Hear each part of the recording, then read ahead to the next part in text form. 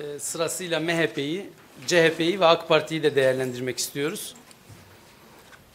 Bu tür toplantılarda siyasi partilerle ilgili yaptığımız e, toplantılarda genelde e, partilerin temsilcilerinden birilerini çağıralım mı çağırmayalım mı kararsızlığı yaşıyoruz. Çağırdığımız durumlar oldu. E, anayasa toplantılarını genelde parti temsilcilerinin katılımıyla gerçekleştirdik. Ama genelde o tür toplantılarda bütün siyasi partiler e, kendi siyasi tutumlarının tartışma konusu olmasına izin vermiyorlar. E, böyle kendi siyasi gündemlerinin, politikalarının, kampanyalarının tartışılacağı toplantılara iştirak etmekte tereddüt gösteriyorlar. Bu durumda karşımızda şöyle bir seçenek vardı bir e, öngörüde bulunduk. Dedik ki büyük bir ihtimalle BDP ve AK Parti toplantılarında parti temsilcilerini e, burada bulundurmayı başarırız ama CHP ve MHP'de zorlanırız. Öyle bir durumda da e, bir ayrımcılık yapıyor görüntüsü vermek istemedik. Yani bazı partileri çağıran, bazı partileri çağırmayan bir kurum statüsüne düşmeyelim, algısı uyandırmayalım diye siyasi partilerin temsilcilerinin olmadığı bir toplantı yapalım dedik. Twitter'da duyurularda da bir sürü insan e, niye BDP temsilcisi yok diye sormuş. Ona bir cevap da olsun. Bundan sonraki toplantılarımız için de bir format olsun. Bugün e, bir analizimiz var. E, Akşam Gazetesi yazarı Kurtuluş Tayiz e, seçime doğru Barış ve Demokrasi Partisi diye bir analiz hazırladı SETA için. E, onun sunuşuyla başlayacağız. E, ardından İstanbul Şehir Üniversitesi'nden benim de hem hocam hem tez danışmanım Mesut Yeğen ve yazar Muhsin Kızılkaya ile bu analizi tartışacağız. Ana odağımız Kürt meselesi çözüm süreci olmaktan öte Barış ve Demokrasi Partisi'nin 30 Mart seçimlerindeki e, yaklaşımı, kampanyası, adayları, gündemi ama tabii bununla ilişkili olarak da cevap vereceğimiz, vermek zorunda olduğumuz sorular var. Doğal olarak ülke gündemi seçimleri etkiliyor. Ülke gündemi seçimleri etkilediği için de e, BDP'yi çözüm sürecinden bağımsız, gezi eylemlerinden bağımsız, 17 Aralık operasyonundan bağımsız, e, Suriye'deki gelişmelerden bağımsız ele almak mümkün değil. Dolayısıyla bu seçimleri, BDP'nin bu seçimdeki politikasını etkilediği ölçüde, ilgilendirdiği ölçüde bu meseleleri de konuşacağız. Ama dediğim gibi ana odağımız bu. Soru ve cevap kısmında daha rahat bir e, tartışma yürütebiliriz. Her bir konuşmacımız 20 dakikalık bir sunuş yapacaklar. Ardından bir 45 dakikalık bir e, soru cevap faslına da yerimiz olacak. Son bir e, şey söyleyip e, toplantıyı başlat, başlatayım. E, Malum bugün 28 Şubat. 28 ee, Şubat'ın 17. E, yıl dönümü. Ee, daha önceki, e, geçen seneki 28 Şubat'ta bir 28 Şubat toplantısı yapmıştık. Bu sene seçim atmosferine girdiğimiz için e, e, kamuoyunun ilgisi neredeyse tamamen seçime endekslendiği için, seçimle ilgili gelişmelere endekslendiği için 28 Şubat toplantısı yapamadık. E, ama doğal olarak bugün tartıştığımız siyasi meselelerin birçoğu 28 Şubat sürecinin tetiklediği siyasal gelişmelerle doğrudan ilgili. E, 28 Şubat e, siyasetin, devletin e, toplumdaki dönüşümü, toplumun siyasal dinamiklerini bastırmak üzere harekete geçmesiyle yaşanmıştı. Ee, yeni gün yüzüne çıkan toplumsal dinamiklerin en önemlilerinden birisi de Kürt siyasetiydi, BDP'ydi. Yani 28 Şubat'ın doğrudan hedefi siyasal e, İslam'dı, İslami kimlikti ve bunun temsilcisi Refah Partisi ve e, onu destekleyen çevrelerdi. Ama Refah Partisi'nin bu kadar fazla gün yüzüne çıkması, siyaseti bu kadar etkileyen bir aktöre dönüşmesi de toplumsal gelişmelerden bağımsız değildi. Refah Partisi'ni yükselten o toplumsal gelişmeler Kürtlerin de bir siyasal e, temsil iddiasıyla e, görünür olmasına yol açmıştı. Ve 28 Şubat'ın ürettiği, oluşturduğu o militer siyaset ortamının en büyük e, etkilerinden birisinde Kürtler yaşadı. E, Kürt siyaseti yaşadı. Dolayısıyla böyle bir bağlantı da kurmuş olayım günün anlam ve önemine uygun olarak. Tekrar hepinize hoş geldiniz diyorum. Ee, Kurtuluş Bey'in e, sunuşuyla başlayacağız. Bulunduğunuz yerde de yapabilirsiniz. Burayı da tercih edebilirsiniz. Karar sizin buyurun. İyi sesim geliyorsa sorun yok. Ah. Ya SETA'nın eh, işte her seçim döneminde bütün partilerle ilgili yaptığı bir çalışma BDP ile ilgili e, bu seçimlerdeki çalışmayı da ben yaptım. Aslında e, çok derinlikli bir araştırma değil. E, sadece e, genel olarak Kürt siyasal hareketinin tarihini, biraz seçim performansını ve e, seçimlere doğru e, biraz kampanyasının değişik esasını, özelliklerini anlatmaya çalıştım. Kürt siyasal hareketinin e, tarihi 1990'lara uzanıyor. E, işte o zaman SHP listelerinden e, meclise giriyorlar. Tabii bu ayrışma da önemli. Kürt konferansı, Paris'te yapılan bir Kürt konferansına katıldıkları gerekçesiyle partilerinden ihraç ediliyorlar ve hep dediğimiz ilk Kürt siyasal partisini kuruyorlar. Eh, tabii bunun 1990'larda ortaya çıkması e, tesadüfi değil. Kürtler e, Cumhuriyet'in kuruluşundan beri işte e, bu topraklarda olan ama siyaset sahnesine biraz 90'larda çıkmaları nedeni 1984 yılında PKK'nın başlattığı silahlı isyan. E, 1984'te başlayan silahlı isyan biraz yeni bir siyasal alanın da açılmasına neden oldu. Bu siyasal uyanışı işte Kürt siyasal hareket dediğimiz hep doldurmaya çalıştı. E, ancak e, daha ilk kurulur kurulmaz hep işte biraz yasal olmayan illegal Kürt e, hareketinin ya da silahlı isyanın etkisi, yoğun etkisi altında kaldı. Bunun nedeni de e, tabanın ortak bir tabanı paylaşıyor olmaları. Bir de yeni bir siyasal uyanış. Hem dağdaki isyan cezbediyor şehirdeki insanları hem de Kürtler adına ilk defa böyle e, bir kuşak e, siyasete e, soyunuyor, siyaset yapıyor. E, seçim performansı, ilk seçim performansı gayet iyiydi aslında. E, hep listelerinden yaklaşık 22 kişi hatırlıyoruz yanlış hatırlamıyorsam seçiliyor. Ve ilk defa işte meclis Kürt vekillerle tanışıyor. İşte Leyla Zana'nın o ünlü şeyini hatırlarız. Seçilen vekiller hep e, biraz e, silahlı isyanın da simgeleri olan sarı, kırmızı, e, yeşil simgelerle, bayraklarla meclise geliyorlar ve Kürtçe yemin e, yapma, yapmaya çalıştılar daha doğrusu. Kesildi, engellendi. Bu Türkiye'de de yeni bir dönemdi. Yani ilk defa Türkiye'de Aa, Kürtler var, kendi dilleriyle siyaset yapmak istiyorlar. Kendi kimliklerini konuşturabiliyorlar. Tanıştı. Fakat e, yerleşik düzenin, statükonun da tepkisiyle karşılaştı. Hatırlıyoruz. E, büyük bir olaydır. İşte o milletvekilleri dokunulmazlıkları kaldırılıp cezaevine gönderildi. Daha sonra e, baskı dönemi Kürt siyasal hareketinin yani devlet baskısı çok rahat gelişmesini engelledi. 1990'dan e, sonra işte sırasıyla belirli bir seçim tecrübesi yaşadılar. Onları da hazırladığım şeyden başlıklarını şey yapabilirim, aktarabilirim. 1995 genel seçimleri.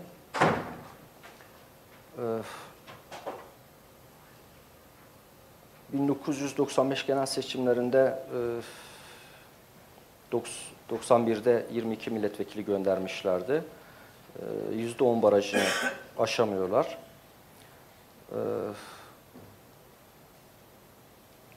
O dönem biraz e, barajı aşamadıkları için Erzurum bugün işte AK Parti'ydi. O gün de Refah Partisi'ne yarıyor ve Kürt vekiller aslında e, biraz e, Refah Partisi listelerinden Refah Partisi adaylarına yarıyor. 99 genel ve yerel seçimleri aynı anda yapılıyor. HDP'nin e, girdiği bir seçim bu. E, Hatırlıyoruz 1999 yılı işte Öcalan'ın Türkiye'ye getirildiği bir yıl. Ee, işte Ecevit seçim patlaması yapıyor. MHP oylarını arttırıyor ama Kürt hareketi oylarını çok fazla artıramadı. Seçim barajını e, aşamadı. Ancak e, yerelde kısmi bir başarı gösterdi. en büyük başarısı 3 Kasım 2002 seçimlerinde Kürt Hareketi'nin 6.14'lük bir oyla e, İl Genel Meclisi oy sayım sonuçlarına göre. Yani bu daha sonraki seçimlerde de Kürt siyasi hareketinin e, biraz tavanı oldu. Şu ana kadar e, Kürt hareketi seçimlerde 6.14'lük bir oy oranına ulaşamadı. E, ancak yerel seçimlerde ayrı bir başarı gösterdi. İşte e, 7-8 belediyenin, büyük belediyenin belediye yönetme hakkına sahip oldu. 30'a yakın işte belde belediyesini yönetti. Yani toplamda bugün son yerel seçimlerde, 2009 yerel seçimlerinde 99 e, e, belediye yönetme hakkı kazandı. Bu yerel belediyeler işte e, Kürtler için daha özel bir anlamı var. Kürt siyasi hareketi için. Biraz demokratik özelliğin işlendiği bir alan özelliğini taşıyor. İşte demokratik genel siyasete yani genelin yanında işte özel olarak yerelde e, Kürt hareketinin kurumlaşmasını, biraz daha etkisini arttırmasını, bölge üzerinde biraz daha e, siyasi olarak güçlenmesini sağlıyor. E, 2011 seçimleri, genel seçimleri son olarak işte bugünkü siyasi tabloyu şek şekillendiren seçim. Burada da işte 36 milletvekili e, BDP e, meclise gönderdi. 36 milletvekili Kürt siyasi hareketi için tarihindeki en büyük başarılarından biri oldu. Fakat oy oranı e, daha önce 2002 seçimlerindeki gibi 6.14'e varmadı. E, fakat 2,5 milyona yakın bir e, şey oy aldı BDP. 36 milletvekili çıkardı. Bu da Kürt siyasal hareketinin biraz Türkiye'deki artan ağırlığını gösteriyor. Tabii sadece seçim sonuçlarına göre bir siyasi ağırlığı yok. Yani Doğu ve Güneydoğu bölgesinde daha özgün bir siyasal ağırlığa da sahip BDP. İşte o bölgede daha fazla etkin. E, Kürt kimliği üzerinden e, siyaset yapmasının da etkisiyle e, yani bölgede e, Kürt kimliği üzerinde bir siyasi tekel oluşturmuş durumda. E, AK Parti ile bölgede yarışıyor. E, AK Parti'nin e, etnik kimlik üzerinden bir siyaset yapmıyor. Adaylarını da etnik profile e, profile göre seçmiyor. Fakat BDP'den daha fazla e, bölgede Doğu ve Güneydoğu bölgesi karşılaştırması yaptığımızda BDP'den daha ön sırada. E, bu seçimde de yine bu iki partinin yarışacağını şey yapıyoruz, varsayıyoruz. İşte Diyarbakır'da, Mardin'de, Batman'da gezdim son seçim durumunu siyasi tablonun, mevcut siyasi tabloda radikal bir değişiklik çok fazla görünmüyor. BDP'nin 8 belediyesi ve yerellerle dahil 100 belediyesi var. Bunu BDP biraz arttırmak için uğraşacak. İşte yeni e, Büyükşehir Belediye Yasası ile birlikte bir takım avantajlar da doğdu. Mardin'i büyük ihtimalle alabilir. Fakat işte Ağrı'ya ciddi bir aday gösterdi. Ee, Sırrı Sakık. Orayı da bir önceki dönem BDP'nin elindeydi. Son seçimlerde AK Parti'ye geçti. Burayı da almak istiyor. Ee, yani iddialı olduğu yerlerden biri. Ee, işte Baydemir'i Urfa'da aday göstererek aslında seçim stratejisi şu. Yani AK Parti birinci parti, bölgede birinci parti olması biraz zor ama bölgede AK Parti'ye güç kaybettiren bölgenin yeni yükselen, e, büyüyen partisi olarak bu seçimlerden e, bu sonucu elde ederek çıkmaya çalışıyor. Tabii e, şöyle bir tablo var. Kürt siyaseti de biraz çoğulculaştı bu dönemde. İşte demokratik açılım, çözüm süreci beraberinde Kürt siyasetin çoğulculaşmasını da getirdi. Birkaç tane Kürt hareketi e, var. Bunların içinde en iddialı durumda olanlardan biri Hüdapar görünüyor. E, fakat Hüdapar'ın da bu seçimlerde BDP'den çok fazla oy elde etmesi pek olası görünmüyor. Ee, sadece 13 ille sınırlı aday gösterdiler. 13 il üzerinde yoğunlaşıyorlar. 13 il ve 70-80'e yakın belde üzerinde. Ee, bu seçimlerde biraz bölgede AK Parti ve BDP'den sonra üçüncü bir aktör olarak sıyrılma niyetindeler. Ee, ne kadar başarılı olacakları doğrusu kestirilemiyor ama radikal bir başarılı radikal bir başarı, sürpriz bir başarı da çok fazla görünmüyor en azından benim edindiğim izlenim. AK Parti'nin de bölgede BDP'ye çok fazla kaybetmesini izleyemedim. Yani gezdiğim illerde işte e, görüştüğüm çevrelerde öyle bir izlenim edinemedim. AK Parti çözüm sürecinin etkisiyle de biraz pozisyonunu koruyor. Hatta yani orada oylarını artırması çok sürpriz olmaz. BDP ise yine çözüm sürecini aslında şey yapmak istiyor. E, bu süreçte de kullanmak istiyor. Seç, yani artık de, tablo biraz değişti. BDP'nin ağırlığı arttı. Çözüm süreci var. Devlet bir yandan İmralı ve e, Kandil'le görüşürken BDP burada aracılık misyonu edindi e, ve bu misyonun da kendisine verdiği bir özgüvenle, daha özgün bir ağırlıkla e, seçmenine gidiyor. Bunun e, sonucunda e, bölgede herhalde şu tescillenecek. Yani zaten e, diğer partiler biraz bölgeyi sadece AK Parti ve MHP'ye bırak, AK Parti ve BDP'ye bırakmış gibi.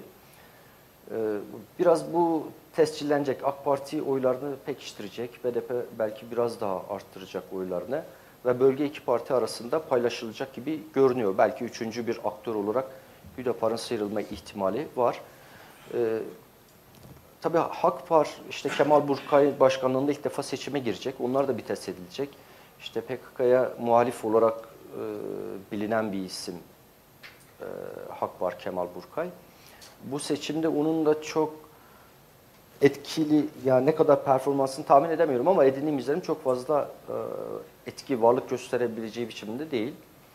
E, fakat e, sürpriz olabilir. Yani e, yani bir sürpriz olacaksa herhalde e, Kemal Burkay'ın başına girdiği partinin e, seçim performansından bir sürpriz bekleyebiliriz.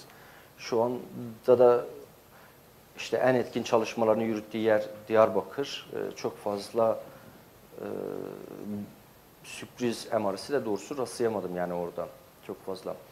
Ama bölgede seçimler her zaman biraz gergin geçiyor.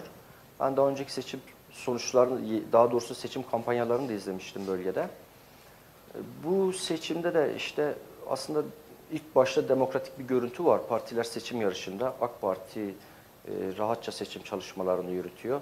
İşte bölgede merakla bekleniyordu Hüdapar nasıl bir seçim çalışması yürütecek. E, o da işte bayrakları, e, seçim bürolarıyla aslında görüntüde rahat bir çalışma yaptığı görünüyor en azından iki kentte böyle bir izlenimim var. E, fakat bir takım olayların da seçim yaklaşırken artması olası. Çünkü daha önce de Hüdapar üzerinde baskılar vardı. AK Parti adayları üzerinde baskılar vardı. E, AK Partiler biraz şehir merkezinde sadece seçim çalışması yürütüyorlar. Kırsala gittiklerinde daha agresif bir BDP tepkisiyle karşılaşıyorlar. E, bu seçimler ne olur bilmiyorum ama böyle ufaktan işte Van'da bir tepki gördük. Diyarbakır Lice'de bir takım seçim ıı, çalışmalarına müdahale gördük AK Partili adaylara ve Hüdaparlı adaylara. Bu seçimde ya bu bütün bir tabloyu değiştirir mi diye düşünüyorum. Pek değiştirmeyecek diye tahmin ediyorum ya da umuyorum diyelim. Ee, çok e, BDP'nin biraz agresif de olsa seçim çalışması stratejisini biraz agresif yürütmesi olası. Fakat e, daha yumuşak, daha önceki seçimlere göre daha yumuşak geçeceğini tahmin ediyorum. Çünkü geçen seçimler daha çok sertti, daha çok e, kavga ve gürültü içerisinde geçiniyordu ve partilerin rahat seçim çalışma yapma ihtimali çok fazla yoktu. Bu durum aslında sivil siyaseti, yani bu tablo şunu gösterdi. Yani silahların susması, sivil siyaseti güçlendiren bir olgu. BDP'yi de güçlendiren bir olgu. Hatta illegal Kürt hareketini de güçlendiren bir olgu. Yani demokratik açılım sürecinden sonra 2009'dan sonra aslında böyle bir ilerlemeyi, iyileşmeyi görüyoruz. Sivil siyasetin önü açılıyor. İşte 2009 yılında Türkiye bir takım tabularını aştı. Kürt sorununun çözümüyle ilgili işte çok yaygın tartışmalar yaşandı. İşte asimilasyon bugüne kadar asimilasyon, red, inkar politikalarından vazgeçildi. Hani bunun e, bir takım yerleşmiş e, uygulamaları henüz ortadan kaldırılmamış olsa da fakat teorik olarak Cumhuriyet'in o bildiğimiz tabuları biraz aşıldı. E, çözüm süreciyle birlikte bu süreç bir üst aşamaya daha geçti. Artık BDP çok daha ciddi bir siyasi bir muhatap. İşte bugüne kadar muhat siyasi muhatap olarak kabul edilmeyen İmralı ya da illegal Kürt hareketi de muhatap. Bu en azından sivil siyasetin içerisine çekildi. Bu e, sorunlarımızı artık şiddetle, silahla çözmenin e, e, de artık sonuna geldiğini gösteren işaretler. Tümden ortadan kalktığını ya da silahın, şiddetin bundan sonra tümden devre dışı kalacağını söylemek fazla iddialı olur. Fakat geldiğimiz noktada bölge normalleşmiş, gayet normalleşmiş durumda. Yani e, Kürtlerin bir takım sıkıntıları var. Kürt sorunuyla ilgili çözüldüğünü söyleyemiyoruz. Hala şiddet tümden devreden çıktığını da söyleyemiyoruz ama bu sorunların çözüm yöntemi olarak e, diyalog, e, demokratik işte e, kanallar e, açık durumda. Yani bu herhalde bu sürecin en önemli başarılarından biri ya da Türkiye'nin aslında yakaladığı önemli başarılardan biri. Bugüne kadar asayiş politikaları, güvenlik tedbirleri hep bu sorunu işte demokratik platformlarda ele almayı e, engelliyordu. Fakat biraz bu engelden e, kurtulmuş görünüyoruz. Ha seçim BDP de bunun verdiği özgüvenle artık çok rahat seçim çalışmaları yürütüyor. Çok özgüvenli ve demokratik özellik e, merke, merkezine demokratik özelliği aldığı bir seçim kampanyası yürütüyor. Demokratik özellikten de şu an e, yani aslında kamuoyunda ciddi şüpheler var. Yani demokratik özellik derken yani Türkiye ile e, Kürt bölgesini ayıran bir modelden mi bahsediliyor ya da böyle bir strateji mi güdülüyor gibisinden. Yani işin gerçeği şu, Kürtler daha önce e, bağımsızlık talep eden bir siyasi stratejileri vardı. 1999'dan sonra biraz o stratejiden vazgeçtiler. Türkiye'nin birliği içerisinde ama kendi kimliklerini de koruyabilecekleri bir siyasi model arayışına girdiler ve demokratik özellik bu arayışın sonucunda ortaya çıktı. E, bunun da tabii değişik modelleri var. İşte Bask modeli tartışılıyor, işte Galler'deki değişik otonomi, o özel devlet modelleri var. Bir de yakınımızda işte Kürtlerin e, Kürdistan'daki e, e, özel devlet modeli. Türkiye hangisi uygun olacak ya da Kürtlerde hangi eğilim öne çıkıyor dersek, e, Kürtler işte il belediyelerinin parlamento gibi çalıştığı, e, işte e, belediye başkanlarının da başbakan gibi yürütme gücü olarak hareket ettiği bir modeli aslında istiyorlar. Fakat çok net e, bir modelleri de yok. Şu an Demirtaş'ın açıklaması şöyle, ya biz işte Avrupa yerel yönetimler özellik şartında olduğu gibi yerel yerel yönetimlerin güçlendirilmesini savunuyoruz. Yerinden yönetimi savunuyoruz. Bu anlamda demokratik çoğulcu bir model. Yani bu ileride başka bir boyuta evrilir mi bilmiyorum ama en azından e, Kürt hareketinin e, yakın gelecekte e, sağlamayı çalıştığı, dönüştürmeye çalıştığı siyasi model bu. Bu modeli e, biraz arzuluyorlar. Bu da tabii Türkiye'nin sadece Kürtlerle ilgili sıkıntısından kaynaklanmıyor. Türkiye'nin genel bir problemi yerel yönetim, yani yerinden yönetim sorunu biraz bu ağır merkeziyetçi siyasi yapının aşılması için zaten gerekli. Belki Doğu ve Güneydoğu için biraz Kürt kimliğinin etkisiyle daha baskın çıkıyor ama e, bütün bölgelerin aşağı yukarı böyle bir ihtiyacı var. Bunun nedeni de şu, yani bu siyasi düzen e, çok eski siyasi bir yapı. Yani Cumhuriyeti kurduk, Cumhuriyeti kurduktan sonra değişik dönemler işte siyasi kurumlar teşekkül ettik. E, fakat çok merkezi, her şey Ankara'dan belirleniyor. Ama hayat değişiyor, yerelde de işte ekonomik, e, ticari hayat, sosyal hayat değişiyor ve yeni idari kurumları ihtiyaç duyuyor. Yani halk ya bu değişimin karşısında halk zaten yere, yerelden yerinden yönetim önemli bir ihtiyaç olarak Türkiye için ortaya çıkmış durumda. E, Kürtler için Kürt kimliğinin etkisiyle de bu biraz daha fazla bir ihtiyaç olması gereken bir durum. Bu dönüşümü de seçimde seçim stratejisinin bir parçası olarak seçim propagandasını ya da seçim kampanyasının bir parçası olarak BDP e, seçimlerde seçmene götürüyor. Bunun e, kendi seçmeni e, için bunun tabii ki bir sonucu yok ama diğer seçmen için demokratik özellik bir kaygı verici bir unsur olmak olmayı sürdürüyor. Yani eğer Avrupa işte Birliği'nin yerel özellik şartlarına uygun bir modeli daha fazla anlatırsa BDP, bence bu diğer e, şüpheyle bakan, kaygıyla bakan ve belki de bu yüzden AK Parti'ye oy veren e, seçmenleri de, diğer kesimleri de şey yapabilir, ikna edebilir. Fakat şu, şu anda hala bu tartışmalar devam ediyor. E, diğer bir şey tabii somut bir politik bir süreç de yürüyor.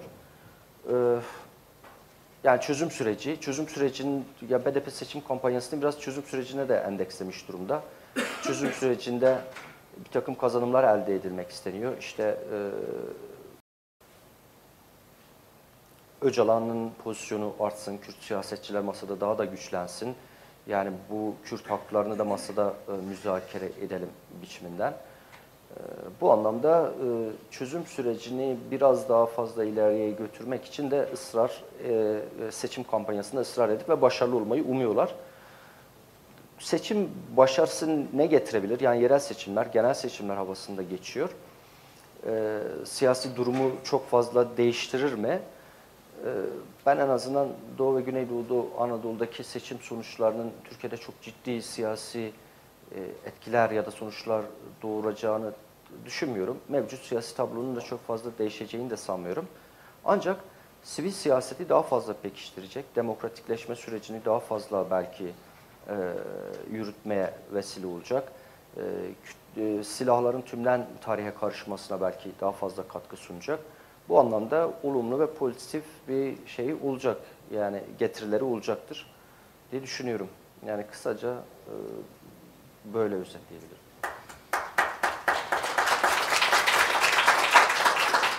Teşekkür ederiz. Buyurun Mesut Hocam. Ben de teşekkür ederim davet için. Şimdi e, yani BDP ve seçimler üzerine bağımsız bir analiz sunmayacağım. Sonlara doğru e, kendi kişisel kanaatlerimi paylaşırım. Esas olarak Kurtuluş Tayyiz'in hazırladığı rapora düştüğüm şerhler üzerinden bu süreci değerlendirmeye çalışacağım. Epey de bir şerh biriktirdim doğrusu. E, iki gündür e, raporu okuyordum. Yani iki kez okudum. Şöyle tasnif edeyim şerhlerim. Bir daha bir majör şerhlerim var. Bir de döneceğim rapora. Orada daha minör, daha çok hani bilgiyle falan ilgili şeyler var. Onları hepsini aktarmaya çalışacağım. Şey de söyleyeyim yani 2011 seçimleri üzerine 2011 seçimlerinin Kürt meselesi ve BDP aksi üzerine bir yazı yazmıştım. 2011'de bu şeyde Inside Turkey'de yayınlandı. Dolayısıyla hani biraz Kürt hareketinin ya da Kürt siyasetinin seçimlerde ne yapıp ettiğini biraz biliyorum. Bilgilerinde taze. Üstüne üstlük bir de işte bir senedir falan yürüttüğümüz bir proje var. Bir TÜBİTAK projesi. Bölgede AK Parti ve BDP seçmenini e, karşılaştırmaya çalışıyoruz. Bir 150 kadar mülakat yaptık. Anketlerimizi de inşallah seçimden sonra yapacağız. Bir de yine geçenlerde bir e, başka bir düşünce kuruluşu için böyle Kürt hareketinin tarihi gibi bir şey yazıp verdim. Daha çok Pekke merkez alan. Dolayısıyla hani e, taze bilgiler üzerinden bir şeyler söylemeye çalışacağım. Aktaracağım şerhler de biraz e, onlarla ilgili. Şimdi ilk şerhimle başlayayım. Yasal Kürt hareketinin tarihi e, Tayyiz'in raporunda hani HEP'le başlatılıyor. PKK merkezli yasal Kürt hareketinin tarihi doğru HEP'le başlatılabilir ama e, yani silahsız e, mücadele eden e, Kürtlerin e, siyasi serüveni nin daha önceki bir tarihi var. YTP ile aslında belki başlatılabilir. Yeni Türkiye Partisi ile. Çok hani Tarihte bilin, verebilir miyiz hocam? E, 61 yani işte 60 darbesinden sonra e, daha çok Hürriyet Partisi ve Demokrat Parti'den e, kopan milletvekillerinin e, daha sonra işte e, Sağlık Bakanı olacak Azizoğlu'nun filan bir dönem liderinde olan bir parti. Şöyle söyleyeyim. E, Yeni Türkiye Partisi e, yani çok böyle yüksek oylar alan bir parti değil ama mesela 10 12 falan bulduğu oluyor ilk seçimde. Ama mesela Türkiye'nin genelinde aldığı oy 12 iken ne bileyim Hakkari'de, Urfa'da, Diyarbakır'da falan %25-30'larda oy alabilmiş bir parti. Ee, ama daha mühim mesela çok az bilinen bir şeydir. Diyarbakır'da Mehdi Zana bağımsız belediye başkanlığı kazanmıştır. Ağrı'da şimdi ismini unuttum ama yine bir bağımsız yani DDK var. Yok Zeki değil. Ağrı'da.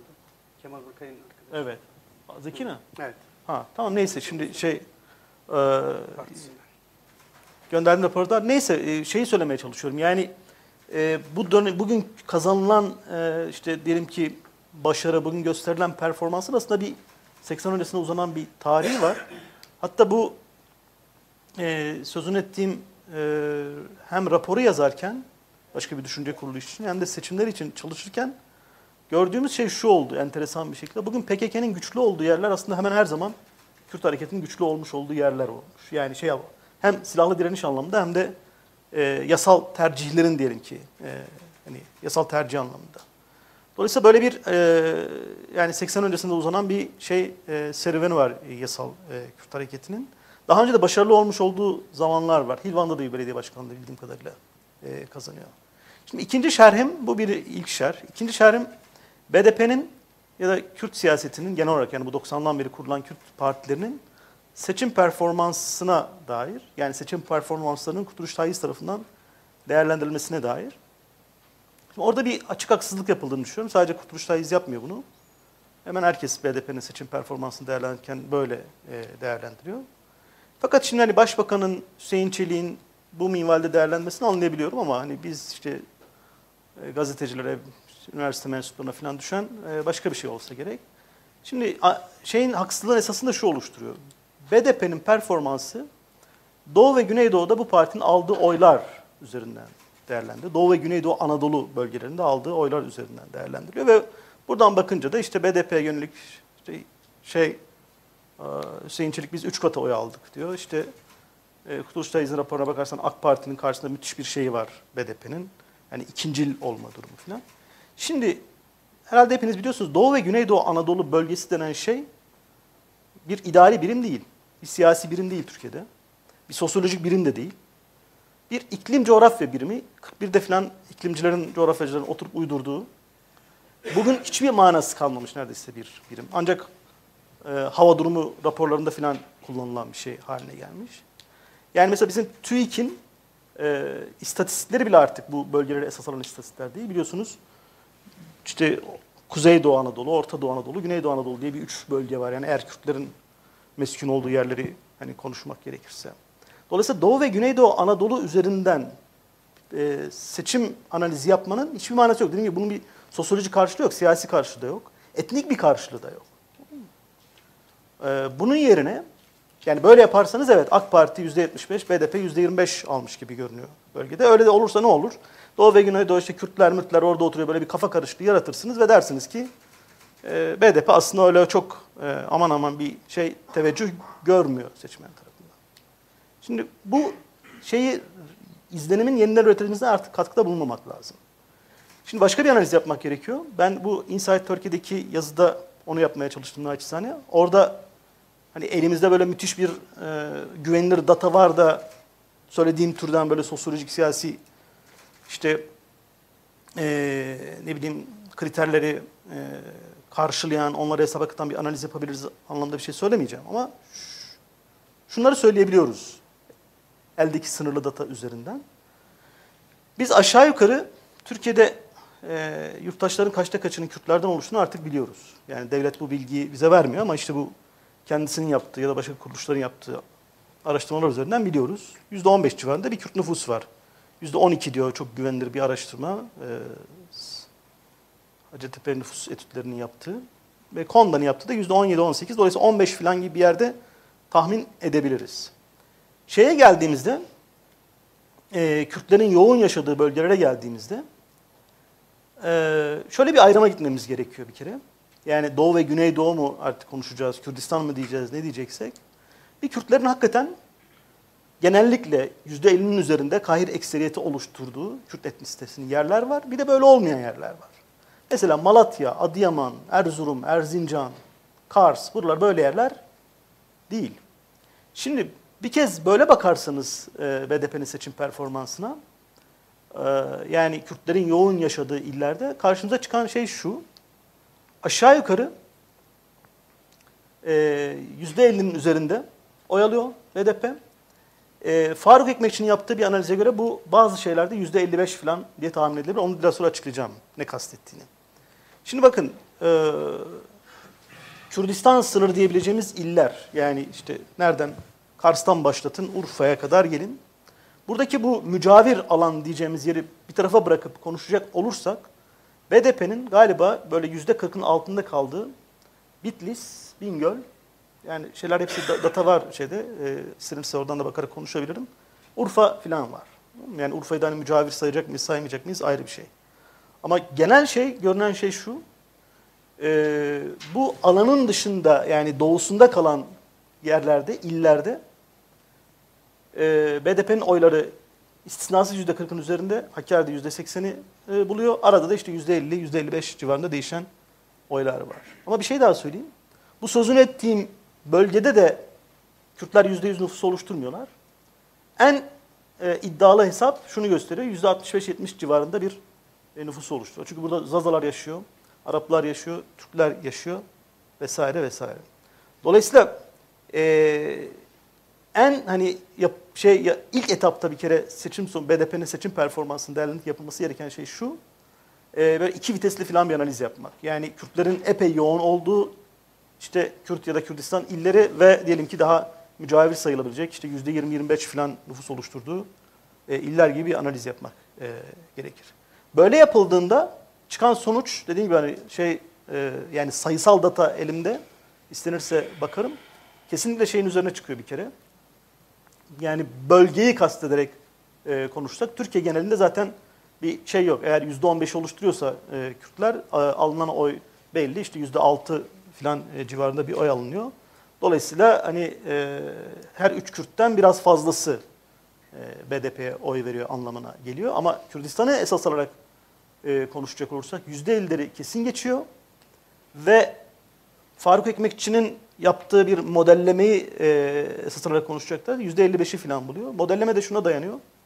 Diyor ki Faruk Ekmekçi, e, seçmenlerin gösterdiği davranışı nüfusa genelleyerek eğer hesabımızı yapacak olursak e, görünen şey şu. Bölgede ki e, 18 yaş altı nüfusun genel olarak diyelim ki Türkiye'deki 18 yaş altı nüfustan çok yüksek olması e, bölgede mesela %50'lik alan %50 şeklinde teveccüh eden bir oyun aslında %55'lere falan denk düşmesi anlamına geliyor. Yani bu hani e, şu açıdan önemli. Önümüzdeki seçimlerde muhtemelen ne olabilire dair bir şey söylemesi açısından önemli ki bizim demin söylediğim araştırmada gördüğümüz şey o ki Hüdaparlıların, AK Partilerin hep AK Partilerin herkesin teslim ettiği bir şey. E, gençlikte şey e, çok açıkça hani bir BDP e, belirginliği artık e, karşımızda. Yani şunu söylemeye çalışıyorum. Bugün %50'leri falan e, geçmiş gibi görünüyor. Kürtlerden gördüğü teveccüh BDP'nin bölgede ve büyük bir ihtimalle bir iki seçim sonra eğer hani şartlar değişmezse e, %55'leri falan bulacak gibi görünüyor. Burada ikinci şerhim bu. Yani seçim sonuçlarının nasıl değerlenmesine gerekir. Bir de Kurtuluş Tayiz de aslında kendisi de teslim ediyor raporunun bir yerini ama ondan sonra bir şekilde başka yerlerde hani e, konuştuğunda o teslim ettiği şeyi hesaba katmadan e, analiz yapıyor. Şimdi 2002 diyorsunuz ya hani 6.2 en yüksek oy aldığı şey. Şimdi 2002 biliyorsunuz genel seçim ve BDP'nin e, bağımsız girmediği e, şey seçim. Ondan sonra hem 2007 hem 2011'de e, BDP bağımsız adayları destekleyerek e, girdi. E, dolayısıyla mesela 40'ın üzerinde ilde hiç aday göstermedi bildiğim kadarıyla. E, bir sürü yerden yani dolayısıyla gelebilecek oylar e, e, gelmedi. O itibarla yani şu doğru 2002 2002, 2007'de BDP'nin önemli bir aday işte tartışması yaptığını biliyoruz. Hatalar yapıldığı söyleniyor filan.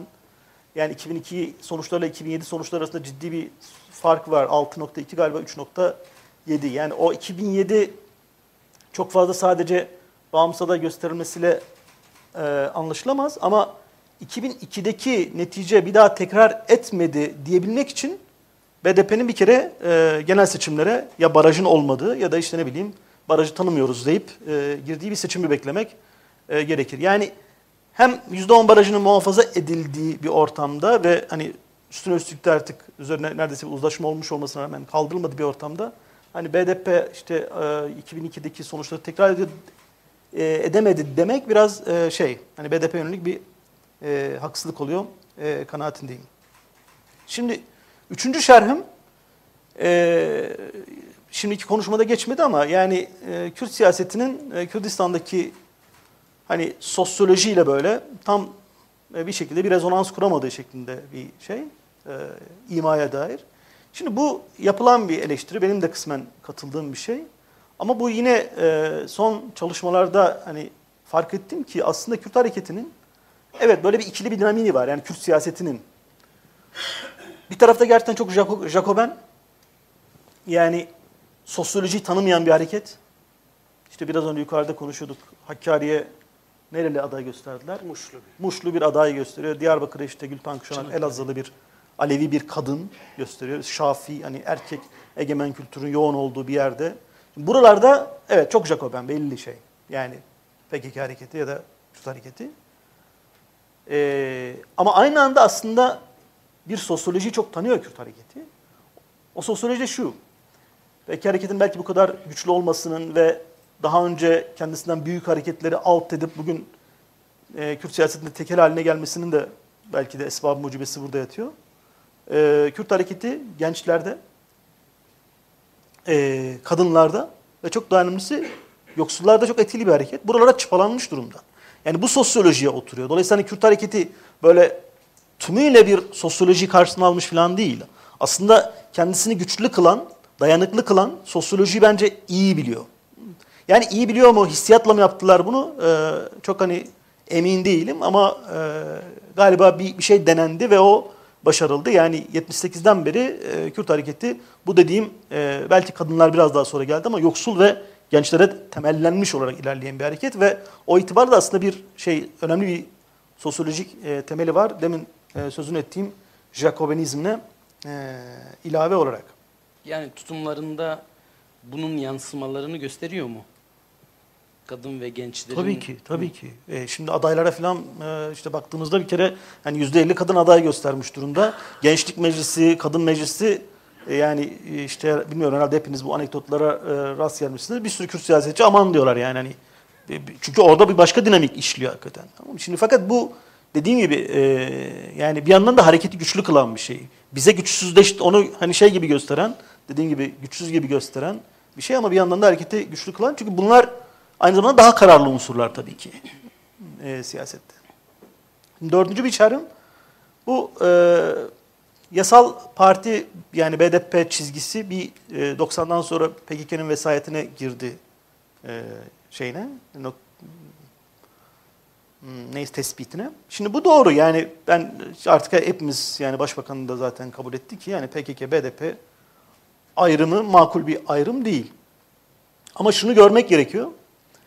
Ee, bu devlet PKK'nın vesayetine girmeyen Kürt hareketlerinde öyle bonkör falan davranmış değil. Daha yeni yeni işte Kemal Burkaylar falan oradan buradan e, çağrıldılar da e, geldiler siyaset yaptılar. Yani e, PKK'yı tekel kılan yasal Kürt hareketini PKK'nın vesayetine sokan esas dinamik bu devletin takip ettiği siyasetler olmuştur.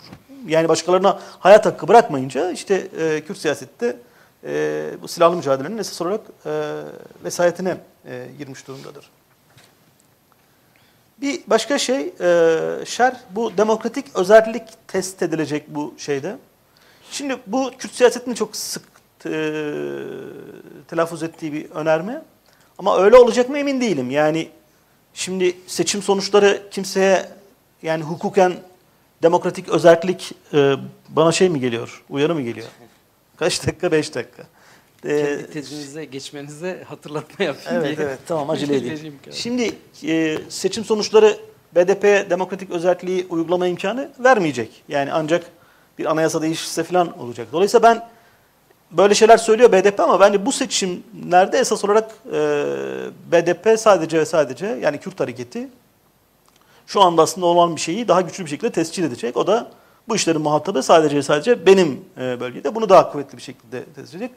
Buradan ancak bu tescil olunursa e, bir anayasanın demokratik özellik ya da özellik için falan zorlanmasının e, önü açılabilir. Yani bunu da uygun bir şey olarak bulmuyorum, analiz olarak bulmuyorum. Çünkü zaman zaman hani siz o manada kullanmıyorsunuz ama merkez medyada işte demokratik özellik ilan edeceklerini falan söylediler. Hem öyle demiyorlar hem de hani deseler bile zaten deme hakları da var da hani biz istiyoruz vesaire. Ee, bu yapıldığında esas olarak hani Türkiye'nin batısındaki seçmenin kafasını e, karıştırma etkisi e, üretiyor. Şimdi bir başka şey, e, böyle bir sırayla gitmeye çalışıyor. Bu yeni aktörler, hani siz de böyle e, şey söylediniz, ne olacağı belli değil ama e, ben daha eminim. Yani ne Hakpar'ın ne Hüdapar'ın e, herhangi bir şekilde bir e, hani kale alınabilir bir sonuç e, alması muhtemel e, görünmüyor e, e, bölgede. Yani bir tane anekdot söyleyeyim. Hakpar bir önceki seçimde BDP'den e, tek bir yerde yüksek oy aldı. O da Bodrum'da galiba beldeydi. O da hani tahmin edebilirsiniz ne türden bir işte duruma, sosyolojiye vesaire denk düşüyor. Hakparları da bu arada çok hepsi yakın arkadaşlarımdır çok da severim ama e, durum ne yazık ki e, bu. Şimdi kısaca geçeyim bazı şeyler vardı onları atlayayım.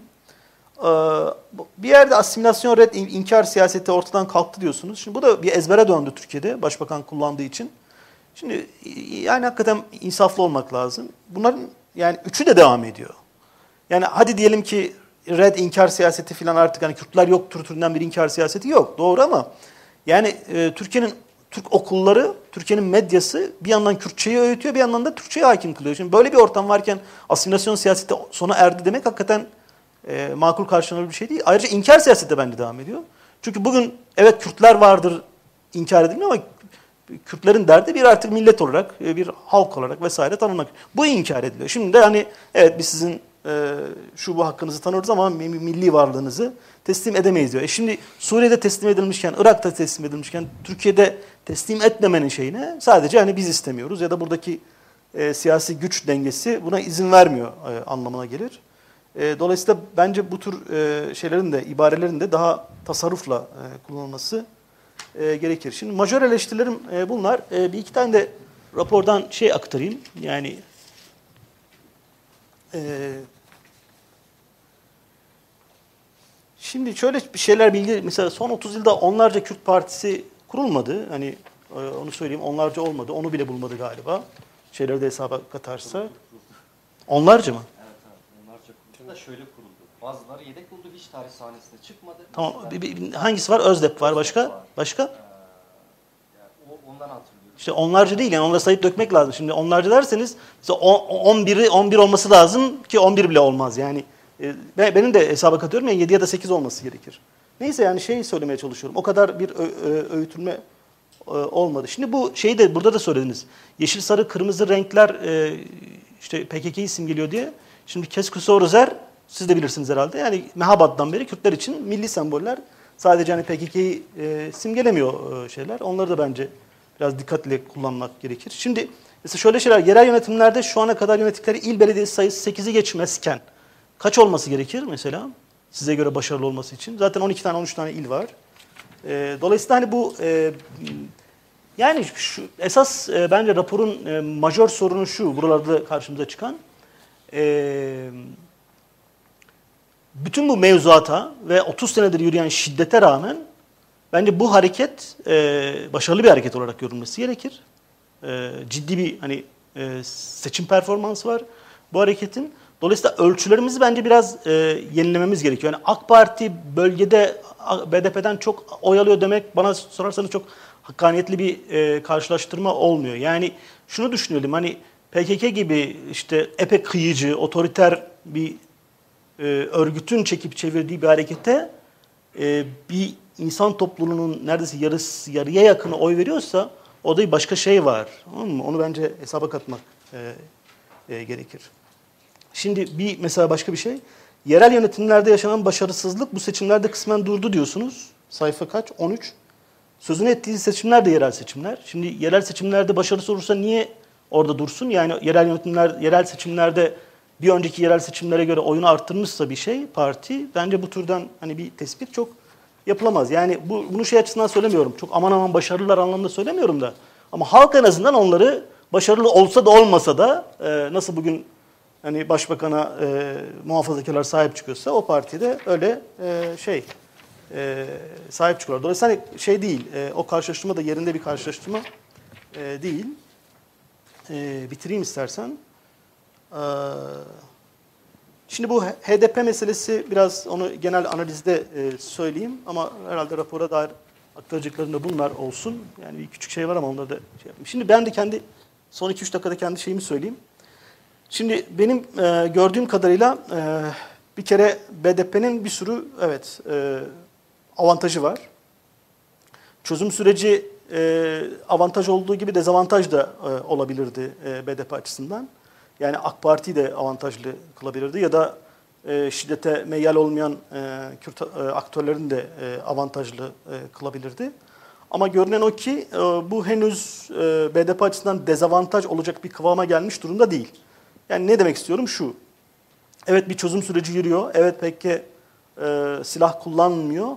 Ama henüz AK Parti e, ya da devlet diyelim ki çözüm sürecinde atılması gereken çok temel adımları atmamış olduğu içindir ki e, BDP kitlelerini BDP'den e, soğutacak bir şey e, dinamik henüz işliyor diyemiyoruz.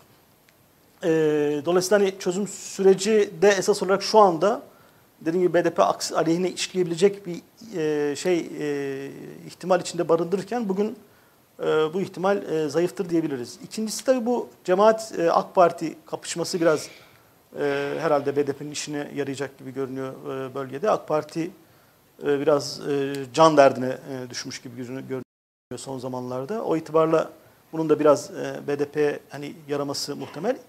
Tabii üçüncü bir şey, e, demin e, ki işte Hakkari adayında e, e, konuştuğumuz üzere, e, BDP bir yandan çok güçlü olduğu, kendisinden çok emin olduğu yerlerde bu türden e, işte e, nasıl denir, hani oradaki sosyolojiyi hesaba katmayan... Fantaziler. Evet, e, adaylar e, şey yaparken ama işte Urfa gibi yerlerde de hani oranın e, şeylerini gözeten, dinamiklerini gözeten e, bir takım hani e, şey tercihlerde bulundu. Hatta ben işte biraz önce de konuşuyorduk. Siverek'te uzun bir zaman bucaklardan yani PKK'nın yıllarca kanlı bıçaklı olduğu bir e, aşiretten bir adayı e, desteklemek e, ihtimali konuşuldu. Olmadı sonuçta ama e, işte Baydemir'in adaylığının hani kesinleşmiş olmasını da gösterdiği üzere bir yandan BDP çok güçlü olmadığı yerlerde de oradaki sosyolojiyi, oradaki siyasi dinamikleri e, daha hesaba katan e, bir takım e, tercihlerde bulunuyor. Bir üçüncü şey tabii ki, üçün mü oldu? Herhalde üç oluyor. Bu son yerel yönetimler yasası, yani işte bu büyük şehirlerin sayısının arttırılması ve büyük şehir sınırları içerisindeki işte yani köylerde meskun insanların da büyük şehir için oy kullanacak olması da bir BDP'ye avantaj sağlayacak gibi görünüyor. Yani Mardin aşağı yukarı kesinleşmiş diyorlar. Yani Ahmet Türk'ün kazanacağı.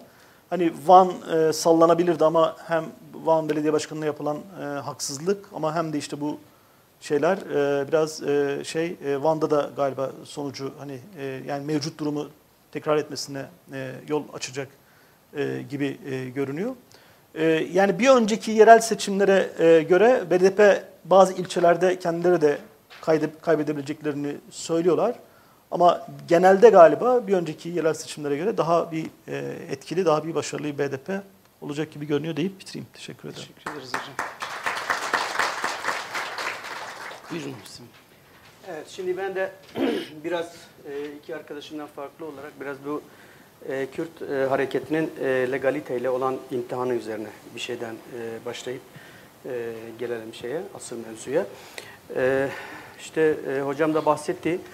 Kurtuluş'un raporu tabii sonuçta BDP üzerine bir çalışma olduğu için haliyle BDP'nin köklerinin uzandığı 1990'lı yıllardan başlayıp bugüne gelen o gelenek üzerinden bir e, toparlayıcı, bilgilendirici, içinde analiz de barındıran ama aynı zamanda informatif bir e, rapor. E, öncesine baktığınız zaman işte e, demin Mesut Hoca e, bahsetti. Mesela tip e, 1960'lardan sonra e, seçime girdiğinde e, işte e, Kürdistan'da e, mesela e, işte e, Doktor e, Tarık Ziya II e, milletvekili olarak parlamentoya e, giriyor. Hake, hakeza e, Badırlılardan e, girenler var. E, başkaları var. Dolayısıyla e, o dönemde 1960'lı e, yılların sonuna doğru... Behice Urfa e, milletvekili. Evet yani e, Kürtlerin yaşadığı bölgelerden tip listesinden Kürt milletvekillerinin parlamentoya girdiğini e, görüyoruz. 1970'li yıllara 12 Mart e, darbesi bütün bu legalleşmeye doğru meyilli olan Kürt hareketini ki bu Doğu mitingleri gibi e, tarihte çok önemli bir yer tutan büyük mitinglere imza atmış. Yani her ne kadar bunlar tip adına, e, tipin organizasyonla yapılan e, mitinglerse de e, oradaki Kürtlerin e, örgütlediği e, bir şeydi. Daha sonra bunlar e, Dedeko'lara e, dönüştü. E, merkezi Ankara'da olan bir dernekti Dedeko. Ama yine de bölgede çok e, kısa süre içerisinde şubelerini e, açarak e, yoğun bir legal e, faaliyet içerisinde işte ağız zulmüne karşı e, diye sembolize ettikleri e, ve içinde çünkü e, Kürt e, etnisitesine dair bir şeyleri söylemek o zaman ateşten gömlek giymek gibi bir şey olduğu için e, işte oradaki baskıyı daha yerelleştirip işte ağız zulmüyle devlet zulmünü e, birbirinin içine sokan ve buradan giderek kendi milli davasını daha dolaylı yollardan ifade eden bir takım sloganlar, bir takım çalışmalar, kitaplar, seminerler e, vesaire vesaire. Yani yoğun bir entelektüel faaliyetin e, olduğu e, dönemdir. E, 12 Mart darbesi e, bunları hepsini bir araya topluyor, Diyarbakır cezaevine sokuyor. Diyarbakır cezaevi de e, Kürt aydınları için bir okul işlevini görüyor. İlk defa hepsi orada e, buluşuyorlar. Buluştuktan sonra da ilk defa cezaevinde savcının e, Kürtler yoktur, Kürt diye bir halk yoktur e, e, şeyine karşı, tezine karşı Kürtler vardır. İşte alfabeleri 33 e, harflidir. İşte e, dilleri Hint-Avrupa dil e, kökeninden gelir, ailesinden gelir gibi temel e, tezlerle bu halkın bu topraklarda yaşadığına dair somut e, delillerle siyasi savunmalar yaptılar. Bu siyasi savunmalar içinde daha sonra Kürt hareketi kendi içinde hapishanede birkaç fikre ayrıldı. E, 74 affından sonra dışarı çıktığında da e, bunlar e, üç tane ana e, akıma e, dönüştü. Henüz PKK'nın ortada görünmediği yıllardır o yıllar. E, işte bir tanesini e, başını Kemal Burkay'ın çektiği Özgürlük Yolu e, hareketi. Bir tanesi e, işte Doktor e, Sait Kırmızı Toprağ'ın başlattığı ama daha sonra Necmettin Büyükkaya ve diğer arkadaşlarının devam ettiği adına legal anlamda DDKD dedikleri bir hareket. Bir de öte yanda Barzani'ye e, yakın duran bir e, KUK hareketi ve e, ufak tefek bir takım şeyler, e, Mao'cu hareketler ve yine bunun içinden e, öte yanda gelişen daha entelektüel bir zemine oturmuş olan Rızgari hareketi. 1975 ile 1980 arası hatta 76 ile 80 arası kısa bir dönemdir, 4 yıllık bir dönemdir fakat e, Türkiye tarihinin en uzun yıllarıdır. E, özellikle Kürt e, hareketi açısından da çok uzun yıllardır. Bu 4 yıl içerisinde bu memlekette entelektüel e, şu anda üstünde mücadele edilen, üstünde konuşulan e, ne varsa entelektüel birikim anlamında o 4 sene içerisinde e, birikmiştir. Komal yayınları önemli oranda önemli kitaplar yayınlıyor. Kürdolojinin önemli eserleriyle insanlar tanışmaya başlıyorlar ve çok yoğun bir legal alanda mücadele e, dönemi başlıyor. Derneklerde örgütlenen e, gençlerin sayısı 500 binleri e, buluyor. Mehdi Zana Diyarbakır'da belediye başkanı seçiyor ama aynı sırada zamanda işte DDK'de bir aday gösteriyor. Mehdi Zana'nın oyuna yakın bir oyu da o alıyor.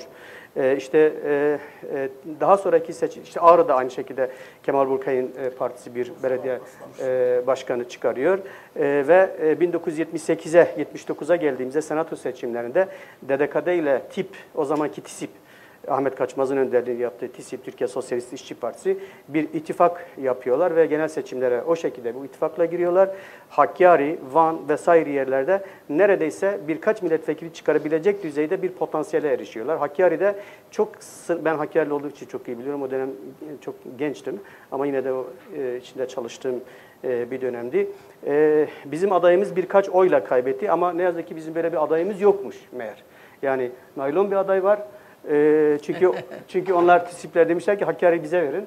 E, o işte Kürtler de oraya vermişler. Orada nasılsa kazanmaz diye bir tane e, adı olmayan, sanı olmayan, uyduruk bir, e, o sanal bir adamı orada aday göstermişler. İşte halk sonuna kadar, seçim gününe kadar adayımızı isteriz diye bizden talepte bulunmuştu. Biz bir türlü adayı getiremedik e, Hakkari'ye. E, neredeyse yani hani kazansaydık büyük bir e, facia. E, olmayan bir adam kazanmış olacaktı. Birkaç yani birkaç yüz oyla falan kaybetti. E, öyle bir dönemden 1980 askeri e, darbesine geldik. Şimdi peki bu dönem içerisinde PKK nerede dönüyor?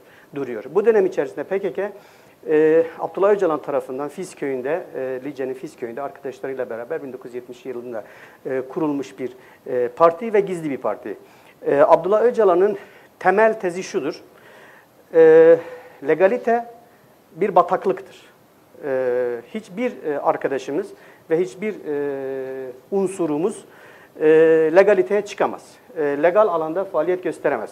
Onun için PKK'nın legal yayın organları yoktur. O dönem herkesin bir, e, bir yayın organı. Dergiler çıkarıyor, kitaplar yayınlıyorlar, afişler bastırıyorlar, broşürler, radyolar bilmem ne her türlü propaganda faaliyetini yürüten herkes yapıyor ama PKK bütün bunların dışındadır. Çok e, gizli örgütleniyor, içeriden örgütleniyor, seçkin birliklerden oluşuyor ve çok iyi silah kullanıyorlar, e, şeylere girmiyorlar, e, politik tartışmalara girmiyorlar, felsefi tartışmalara girmiyorlar. O sıralarda bir derneklerin lokallerinde e, halka açık binlerce insanın katıldığı büyük seminerler düzenleniyor. Bu seminerlerin konusu halkın devleti gibi. İşte Sovyetler Birliği'nde kapitalizm şey e, Kürdistan'da kapitalizm var mı yok mu? İşte Sovyetler Birliği'nde e, sos, sosyal emperyalizm değil midir? Çin bilmem ne. Böyle daha bu memleketin sosyolojisinden uzak başka ülkelerin sosyolojisini e, tartışan ama aynı zamanda kendi ülkesiyle ilgili yoğun tartışmaların olduğu bir dönem ama bütün bunların içerisinde PKK bunlardan uzak duruyor ve legaliteyi kendine bir e, araç olarak da e, seçmiyor. E, amacı farklıdır. Zaten Abdullah Öcalan bir Kürt hareketinin içinde yetişmiş bir e, insan değil. E, AYÖT'te yönetim kuruluna giriyor. E, e, Ankara Yüksek Öğrenim Öğrenci Derneği. E, bunlar dev gençliği gençlerin oluşturduğu e, bir şeydir. Daha sonra da e, şeye yakın, dev yola yakın bir yerde duruyor. Dev yol lideri zaten Abdullah Öcalan'ı biz yetiştirdik diye sonra kendi anılarında e, bunu ifade ediyor. Mahir Çayan'ın geleneğine hala bağlı olduğunu yakın bir zamanda da İmralı'da yapılan görüşmede de aynı şeyi söyledi ve Abdullah Öcalan'ın kafasına her zaman bir Kürdistani bir hareket olmaktan çok daha çok böyle Türkiye'yi de kapsayan daha farklı e, bir model var. O modelle ilgili olarak da tarihte zorun zorun rolü diye bir e, broşür yazıyor ve bu broşür e, PKK'nın tek neredeyse teorik metnidir. Onun dışında herhangi bir e, teorik referans alınmıyor e, onlarda. Yani birileri Çin'i, birileri Mao'yu, birileri Stalin'i ve Sovyetler Birliği'ni yoğun olarak tartışırken onlar bu tartışmaların çok ötesinde kendilerinin oluşturduğu bir yeni e, fikriyatla ilgili olarak Öcalan'ın yazdığı o zor, tarihte zorun rolü e, başlıklı e, bir e, yoğun metin üzerinde bütün meseleyi e, kavramaya ve halletmeye çalışıyorlar. 1980 darbesi bildiğimiz gibi herkesin başına bir balyoz gibi iniyor ve tarumar oluyor. Bütün bu örgütlerin önemli unsurları da Şam'da buluşuyor. Bunlardan biri de Abdullah Öcalan'da. Abdullah Öcalan oradaki adı Ali Fırat'tır. Diğer örgütün liderleri de oradadır ve bir uzun süreli 3 sene süren oradaki muhaberatla işte e, Suriye devletiyle bir pazarlık dönemi yaşanıyor. Çünkü oraya işte dev yolda gidiyor ve e, Türkiye'de bir, e, bir silahlı mücadelenin kimin başlay başlatacağına dair devlet oradaki daha çok işte muhaberat e, karar verecek gibi bir pozisyon e, doğuyor. Daha sonra Abdullah Öcalan'dan karar kılındığı için de e, geride kalan diğer örgüt liderlerine hepsine pasaport, Şam pasaport verip Avrupa'nın çeşitli ülkelerine gönderiyor. E, büyük bir kısmı bahsettiğim bu entelektüel birikimi yaratmış olan insanların büyük bir kısmı İsveç'e gidiyor ve İsveç'te orada büyük bir kısmı yazar oluyor, gazeteci oluyor ve e, önemli Kürt edebiyatının da bugün temelini oluşturan yazarlar da bu geleneğin e, içinden e, çıkıyorlar. PKK orada e, birkaç arkadaşıyla Öcalan oraya çünkü çok kitlesel bir e, e, şey götürmüyor, militan götürmüyor. Az sayıda bir militanla e, oraya gidiyor. Geride kalan militanları zaten Türkiye içerisinde çok legaliteye çıkmadıkları için az sayıda militanları da devlet tarafından yakalanıyor ve cezaevine sokuluyor. Diyarbakır cezaevi ilk defa PKK'nın daha çok teoriyle buluştuğu, daha işte bu meseleleri kendi içinden konuşmaya çalıştığı bir dönem oluyor. Cezaevini bir akademi haline getiriyorlar e, tartışmaya başlıyor. İnsanlar kendini yakıyor, bildiğimiz zulüm vesaire vesaire. Daha sonra da işte e, bildiğimiz silahlı e, mücadele dönemi başlıyor. Silahlı mücadele döneminin temel bir e, amacı vardır. Bağımsız Kürdistan e, kurulacaktır. Bağımsız Kürdistan kurulacağı için de e, Türk parlamentosunda hiç kimsenin bir işi yoktur. Türkiye'de legal bir parti kurmanda bir manası yoktur, anlamı yoktur. Türkiye'de dergi çıkarmanında ya da herhangi bir şey yapmanında bir manası yok. Zaten Türkiye Cumhuriyeti Devleti ile de e, kafadan çarpışan böyle bir iki gücün hani buradan bir demokratik alan yaratalım, buradan böyle bir başka bir şey yapalım gibi bir e, durum yok. Fakat Öcalan'ın kafasında her zaman iki tane e, fikir dolaşıyor. Birinci fikir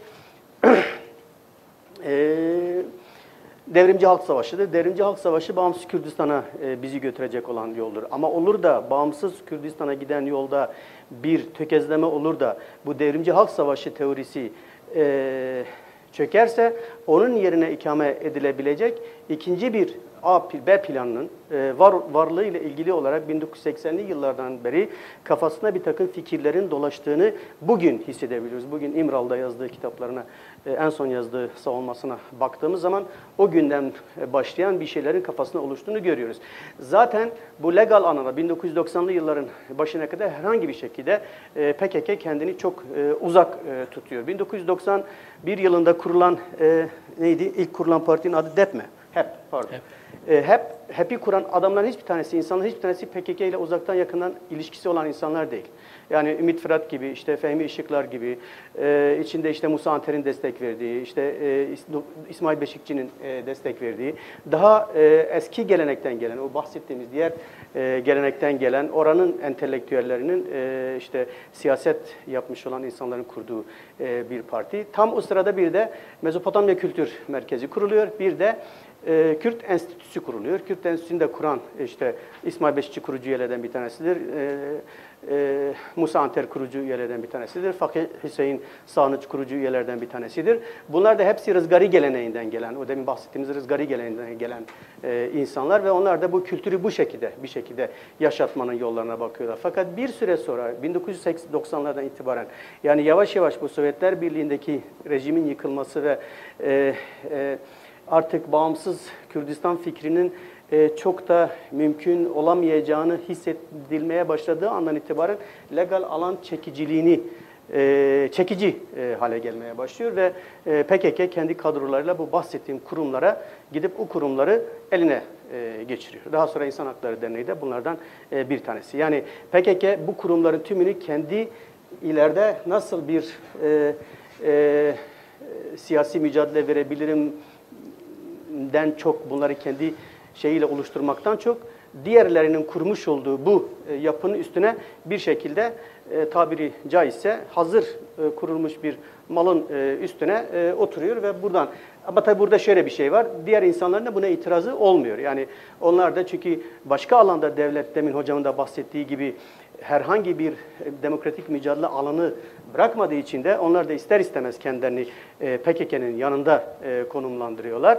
Ve e, işte ilk defa 1991 yılında e, PKK artık e, çıkardığı yayın organları Serhabun, e, Berkadan gibi iki tane hiç sadece örgüt içi e, çıkan, örgüt içi e, enformasyonu sağlayan e, teori e, bilgilerin, e, militanların edindiği bir e, dergi e, anlayışından e, çıkıp bir günlük gazete. Daha önce işte çıkardıkları bir haftalık e, Özgür Ülke e, gazetesinin üstüne özgür gündemi kurup artık yavaş yavaş partilerde de örgütlenip e, legal alanda bir varlık haline gelmeye çalışıyor. Şunu çok, çok, çok önemlidir. Partinin kurucuları arasında e, baktığınız zaman hem kurucuları hem e, milletvekili adayları arasında baktığınız zaman yine PKK'nın içinden yetişmiş hemen hemen hiç kimse yoktur. Başka hareketlerden gelen yani işte ne bileyim e, e, Hatip Dicle Dede Kadeli'dir. İşte e, e, yani sayabileceğimiz bir sürü. Bir tek Leyla Zana tabii o başka bir e, şeyden geliyor. Kocasından dolayı Mehdi Zana'nın durumundan dolayı kendini siyasetin içinde bulmuş bir e, aktör. E, bunlar e, dışarıda kalmış bağımsız Kürt aydınları gibi diğer örgütlerden gelen. Ondan sonra da bunlardan hani o dönemde dediklerinde yararlanabiliriz e, dedikleri bir şey, bir e, e, yapıyı oluşturuyorlar ve diğer kısmını ben anlatmak istemiyorum çünkü e, iki arkadaşım da e, anlattı. Geldiğimiz e, noktada ne olabilirle ilgili 5 dakikalık süre içerisinde onu anlatayım. E, Abdullah Öcalan şu anda bu de, bahsettiğim bu silahlı mücadeleyi kendi e, gündeminden çıkardığı için e, bir demokratik ulus e, modeli yani demokratik modernite dediği bir e, yapı e, öneriyor. Bu demokratik modernite e, Kürdistan'ı salt tek başına Kürdistan'ı kapsayan e, bir şey değil. Bu Türkiye'yi kapsayan bir e, modeldir. Hatta genişleterek bir Orta Doğu Konfederasyonu'na dönüşebilecek bir e, modeldir. E, iki partili bir sistemi öngörür. Muhafazakarlarla demokratlar. Başında bir tane kongre vardır. Büyük kongre vardır. Kongrenin altında iki tane parti vardır. Kongrenin başında da iki partiden bağımsız olarak da bir başkan vardır. Bu sistemi yani bir tür başkanlık sistemidir. E, bunun içinde de işte e, Kürtler de var, e, Süryaniler de var, işte Araplar da var. E, çeşitli dinlerden ve inançlarda olan insanlar da bu konfederal yapının içinde kendini e, temsil edecekler. E, şu anda e, bu seçimler e, bu seçimler bu demokratik özelliğin testi dediğimiz e, hikaye şu. Acaba bu bahsettiğimiz model daha sonra yani bu kurulan hep şey şu anda e, Batı'da şey Türkiye'de girecek bir partinin adı neydi? HDP. E, HDP. Yani HDP'de de çünkü de bir süre sonra bu e, Kürt Partisi'ni lağvedip hepsini o çatı altına toplayıp demin bahsettiğim o modeli e, Türkiye'ye armağan edecek bir şeye dönüş, dönüştürmeye çalışıyorlar. E, hikaye şu en son geldiğimiz noktada e, PKK bir Kürdistan istemiyor, bir iktidar istiyor şu anda. Yani bir şeyi, bir yeri yönetmek istiyor. E, o bölge Kürdistan olabilir e, pekala ama Türk, bütün Türkiye olursa çok daha iyi olur. Hatta bütün Ortada olursa çok çok daha iyi olur. E, dolayısıyla da bu e, genişlikte bir perspektif üzerinden e, mesele konumlandırılmaya e, çalışılıyor. E, onun için fakat tabii bütün Kürtler henüz bu meseleyi bu kadar teorik ve karmaşık daha çünkü çok içine girmedim. E, çok karmaşık ve teorik meseleyi e, hocam bahsettiği o köylü tabanındaki bu kadar e, sert, birbirine yapışkan ve bir daha da o mütegalibiyeye karşı o e, aydın kendilerine göre şimdiye kadar gelmiş olan aydın geleneği kıran e, o yapının bütün bahsettiğimiz teorik meseleyi kavraması biraz güç. Ama onların anladığı bir şey var. E, belediyeler artık kendi evleri haline gelmiştir. E, Kürtler e, belediyelere gittiği zaman artık e, belediye başkanının kapısının önünde e, Türkçe, onlarla Türkçe konuşan bir sekreterle karşılaşmıyorlar. E, bir Kürtçe e, konuşan bir e, sekreterle karşılaşıyor. O bir erkektir genellik, genellikle. Özel kalem müdürüdür onun adı. Ondan sonra da içeride de Kürtçe konuşuluyor. Belediyeler artık onların evi haline gelmiştir. Devlet daireleri o zamana kadar önüne gidip ceket ilikledikleri hatta sırasını bekleyip suyun ne olacak, neyin ne olacak deyip azar işittikleri biri olmaktan çıkıp daha rahat hareket edebildikleri, kendi dillerini özgürce kullanabildikleri bir alan e, olarak görülüyor. Bu alan biraz daha genişleyip bölgesel bir e, düzeye dönüşürse ne ala. Ha bunun içinde devlet biraz daha e, şey davranır, müşfik e, davranır ya da biraz daha demokratik e, davranır, daha demokratik bir anayasa yapar. Biz de AK Parti ile daha geniş bir perspektifte seçime gireriz. Onların karşısında biz Türkiye'yi yönetmeye alternatif oluruz. Tıpkı CHP gibi, tıpkı MHP gibi. Bu büyüklükte bir güce ulaşırız. Bu şu anda yapılan şey o. Silahlı mücadele sonrasında, post silahlı mücadele devresi sonrasında ortaya çıkabilecek yeni yapının Abdullah Öcalan'ın kafasındaki şeyi bu. Bunu kitle tarafından çok mu e, kavranmış? Onda ben henüz e, çok kuşkuluyum. Çünkü yetişen e, yeni kuşak gençler e, çok milliyetçi, çok rigid, e, çok e, e, sert ve çok e, uzlaşmaya gelen bir e, gençlik değil. E, okumayan, e, sadece Abdullah Öcalan'ın e, yazdığı makalelerle yetinen e, sadece e, işte e, sloganların yettiği, işte ne bileyim Twitter'da oluşmuş iki tane cümlenin kendilerini bilinçlendirmeye yet, yetecek bir şey olarak gördükleri bir kuşak da var ortaya da. Bu nasıl yumuşatılır, nasıl bir gelir onu bilmiyorum. Ama genel olarak bu atmosfer içerisinde şu anda seçime gidiliyor. Teşekkür ederim. Biz teşekkür ederiz. Şimdi soru cevap faslına geçeceğiz. Alabiliriz. Evet, önden başlayalım. Mikrofon gelecek. Kendinizi de tanıtırsanız size zahmet. Ercan Parlak, üniversiteden emekli. Ee, ben konuşmacılara teşekkür ediyorum tabii ki. Sorumu sormadan önce çok kısa bir e, hatırlatma yapacağım. Gerçi hepimizin belleğinde olan şeyler ama Türkiye'de siyasal yaşamın bir tarihsel geçmişi, e, orada Kürdistan'da demografik yapı, daha sonra siyasal yapı ve bugünümüz var. Ben geçen ay içinde e, Güneydoğu'ya gittim, coğrafi bölgeye gittim. E, hocamın dediği gibi Şırnak, Mardin, Siirt üçgeninde e, bir geziydi bu. E, orada gözlemlerim var. Yani gözlemlerim tabii ki arkadaşımızın hazırladığı, e, Kurtuluş Bey'in hazırladığı rapor bugünlere göre güncellenmemiş gibi. Belki gerek duymadı. Çünkü burada bir e, siyasi partinin e, şey yapılıyor, kriti, kritiği yapılıyordu. Ama bugünkü olayların oradaki seçimleri de etkileyeceği kesin diye görüyorum.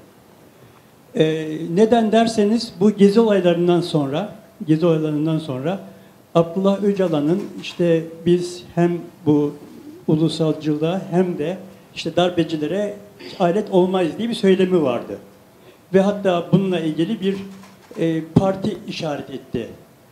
Demokratik Toplum Partisi diye. Şimdi bugünün olaylarına baktığımızda ve düne döndüğümüzde e, İstanbul, Diyarbakır, İzmir, Ankara gibi Kürtlerin yoğun olarak yaşadığı iller var. Yani Kürt nüfusunun yoğun olduğu yerler var. Ve gezi olaylarında en çok yaşandığı illerde bu saydığım iller. Bu seçimleri acaba ne oranda etkileyecektir? Ee, bu son seçimde, yerel seçimleri.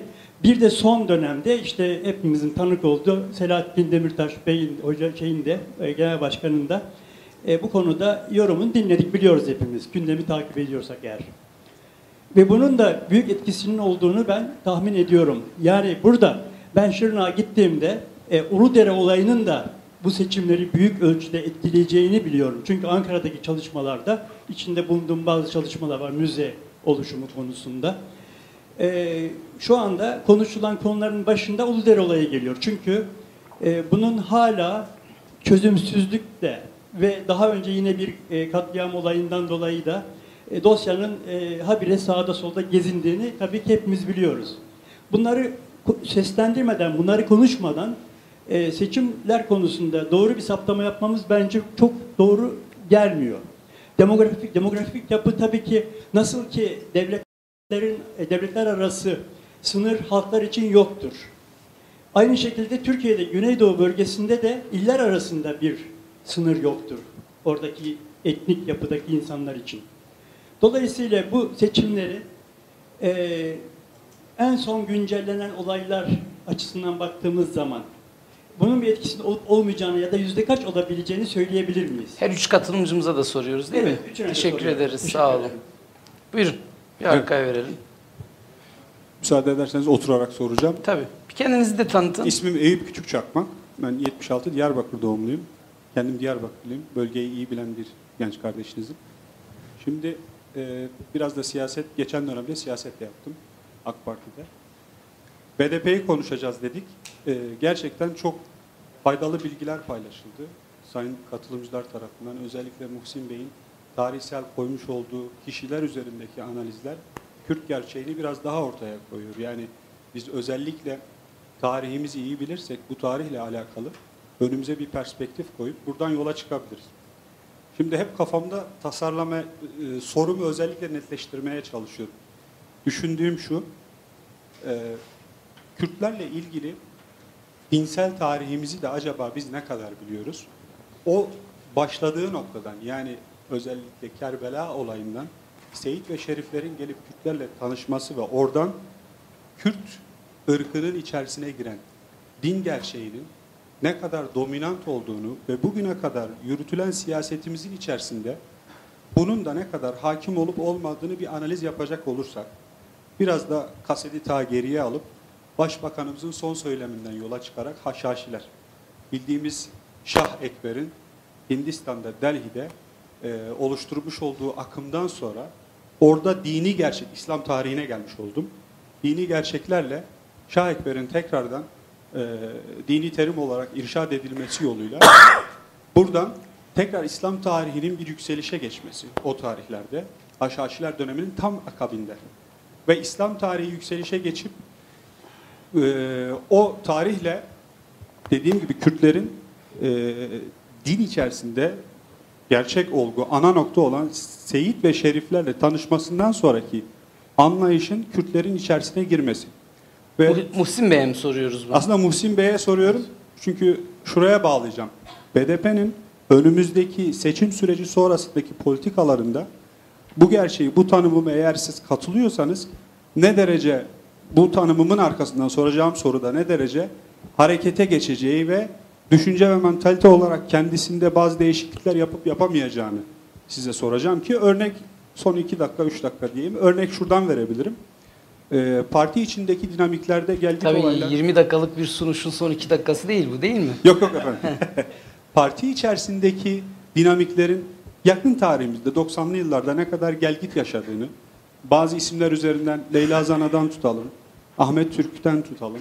En son Altan Tangerçe'yi ki partiye girmesi katılımı ve bizim e, Şerafettin, rahmetli Şerafettin Bey'in katılımı. Parti içerisindeki gelgitler ki en son Osman Baydemir'in ki kendim bizzat şahsen tasvip etmiyorum. Yani gösterildiği aday noktası Mesut Hoca'nın da Jacoben yaklaşımını ifade ederken aslında biraz hafif kaldı. Bence çok e, biraz daha üzerine gitmemiz gereken bir nokta.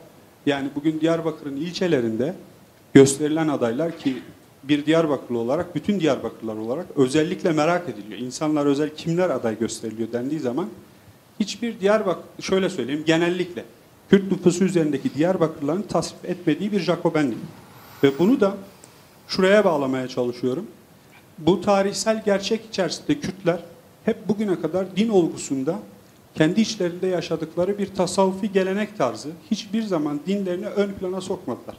90'lı yıllarda gördüğümüz kontrol gelinanın bir kere de ortaya çıkması ve oradaki boşluğun da farklı amaç ve akımlarla e, beslenmesi anlamında Kürtlerin karşısına olmadık akımların çıkartılması ki bugün görüyoruz bir Hüdapar gerçeği. Hiç kimsenin şu anda şans vermemesine rağmen e, seçimlerin bir gerçek bir olgusu olması. Şuraya getireceğim, bağlamak istediğim nokta şu. Acaba parti AK Parti'nin gerçekleştirmiş olduğu Türkiye gerçeğindeki muhafazakarlaşma, kapitalist muhafaz- muhafazakarlaşmayı bir nebze olsun bölgedeki e, artık kapitalist diyemeyeceğiz çünkü Kürtlerin kapitalleşmesi, kapital, kapitalistleşmesi çok geriden geliyor. Muhafazakar dönüşümünü gerçekleştirebilecek mi sizce? BDP bunu başarabilecek mi? Yoksa acaba BDP bunu başaramadıktan sonra inişe mi geçecek? Bu Teşekkür ederiz. sonra. Sağ olun. Buyur. Birkaç soru alalım sonra toplu Ben cevap versek. Kısaca daha iyi olur. bir, e, sor- soracağım. Aslında BDP'nin şu andaki siyasi kimliğine ilişkin bir şey. E, herkes aslında Soruyu soran Ahmet Demirhan. Evet. herkes BDP'nin e, demokratik özellik söylemi üzerinden bir şeyler söyledi aslında. Ama şöyle bir problem de yok. Önce bir iki cümlede problemi ifade edeyim. Bizim burada algıladığımız ve özellik diye adını koyarak e, Türk seçmenini ya da Türk kitlesini biraz e, endişeye sevk eden bu şeyden BDP ne anlıyor aslında?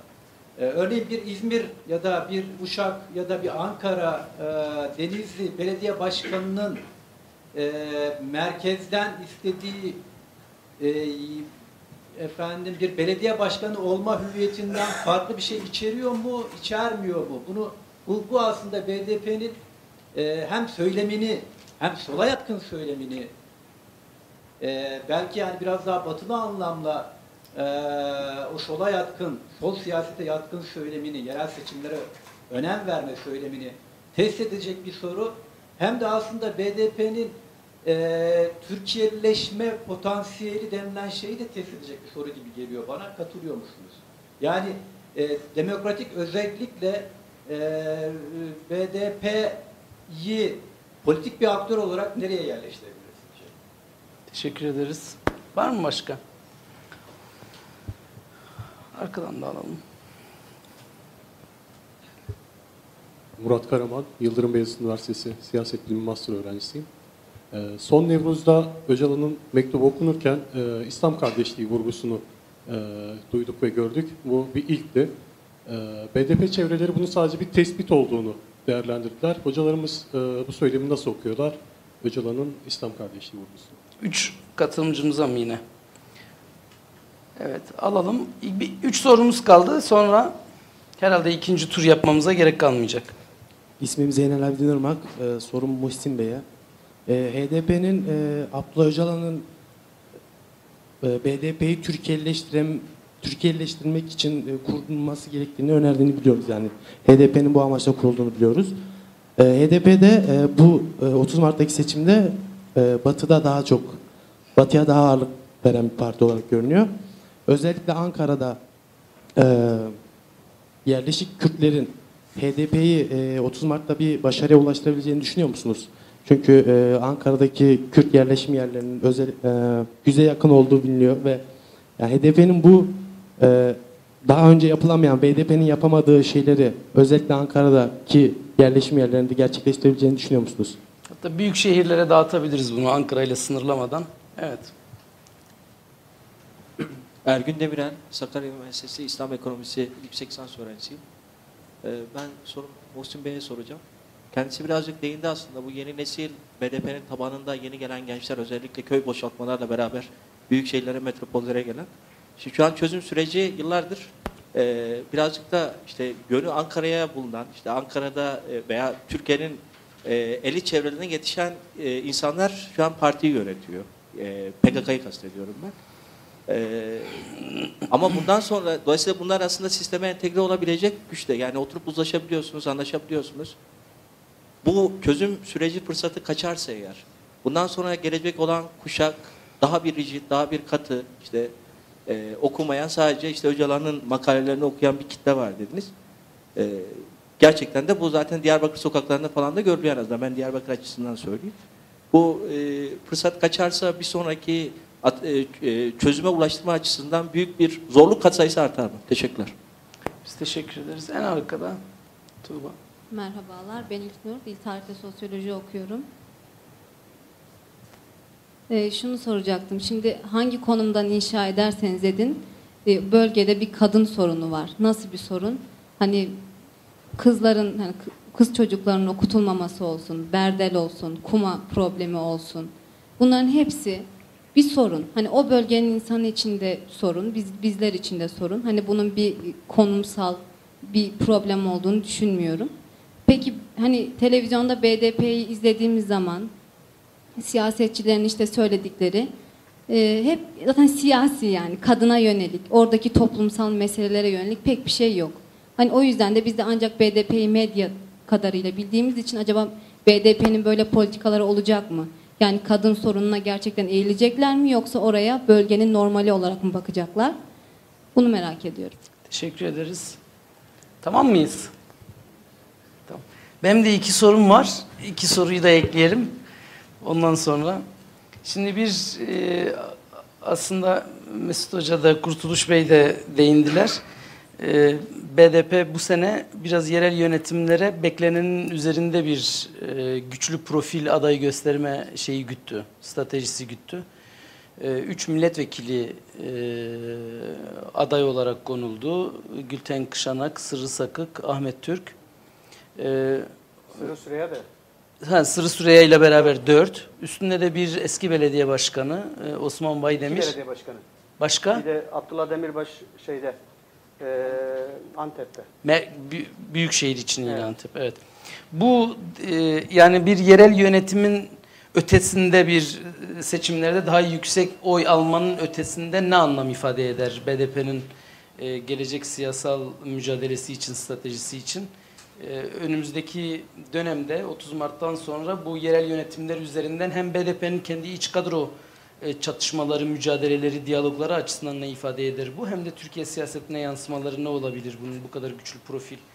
Bir meclis grubuna karşı alternatif başka bir grup mu oluşacak? Bir güç mücadelesi görecek miyiz? İkincisi de e, bu HDP'nin e, ortaya çıkması ve batı bölgelerinde adayların HDP altında seçime girmesi birçok e, aslında başta CHP olmak üzere AK Parti'yi de CHP'yi de e, iştahlandırıyor bir taraftan da. Yani burada bir belediye e, seçiminin kazanılamayacağı açık. Dolayısıyla ha- hani bu, bu acaba bir yere kanalize olursa buradan bir şey çıkabilir mi? Özellikle İstanbul bağlamında Sarıgül'le e, Sırı Sıra Önder arasında birçok görüşmenin e, gerçekleştiği falan da yansıdı. E, Yani başta İstanbul olmak üzere Batı'da siz e, BDP'nin, HDP'nin böyle bir AK Parti lehine ya da Cumhuriyet Halk Partisi lehine bir e, ittifak ya da çekilme sürecine girebileceğini e, bekliyor musunuz, umuyor musunuz? E, çünkü bir taraftan çözüm süreci var. Çözüm süreci biraz e, aktörlere bakıldığında e, AK Parti ile ilişkilendirilmiş vaziyette. E, CHP'nin güçlün, güçlenmesi de AK Parti'nin zayıflaması denklemine oturtuldu bu 17 Aralık sürecinde falan. Bu nasıl bir e, etkiye yol açar seçmenler üzerinde, parti üzerinde? Kurtuluş seninle başlayalım.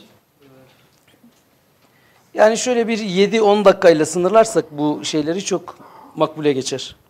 Son olayların seçimler üzerine nasıl bir etkisi olabilir? Aslında raporda 17 Aralık'a kadar getirmiştik biz bu şeyi, değerlendirme sürecini. Gezi 17 Aralık vardı.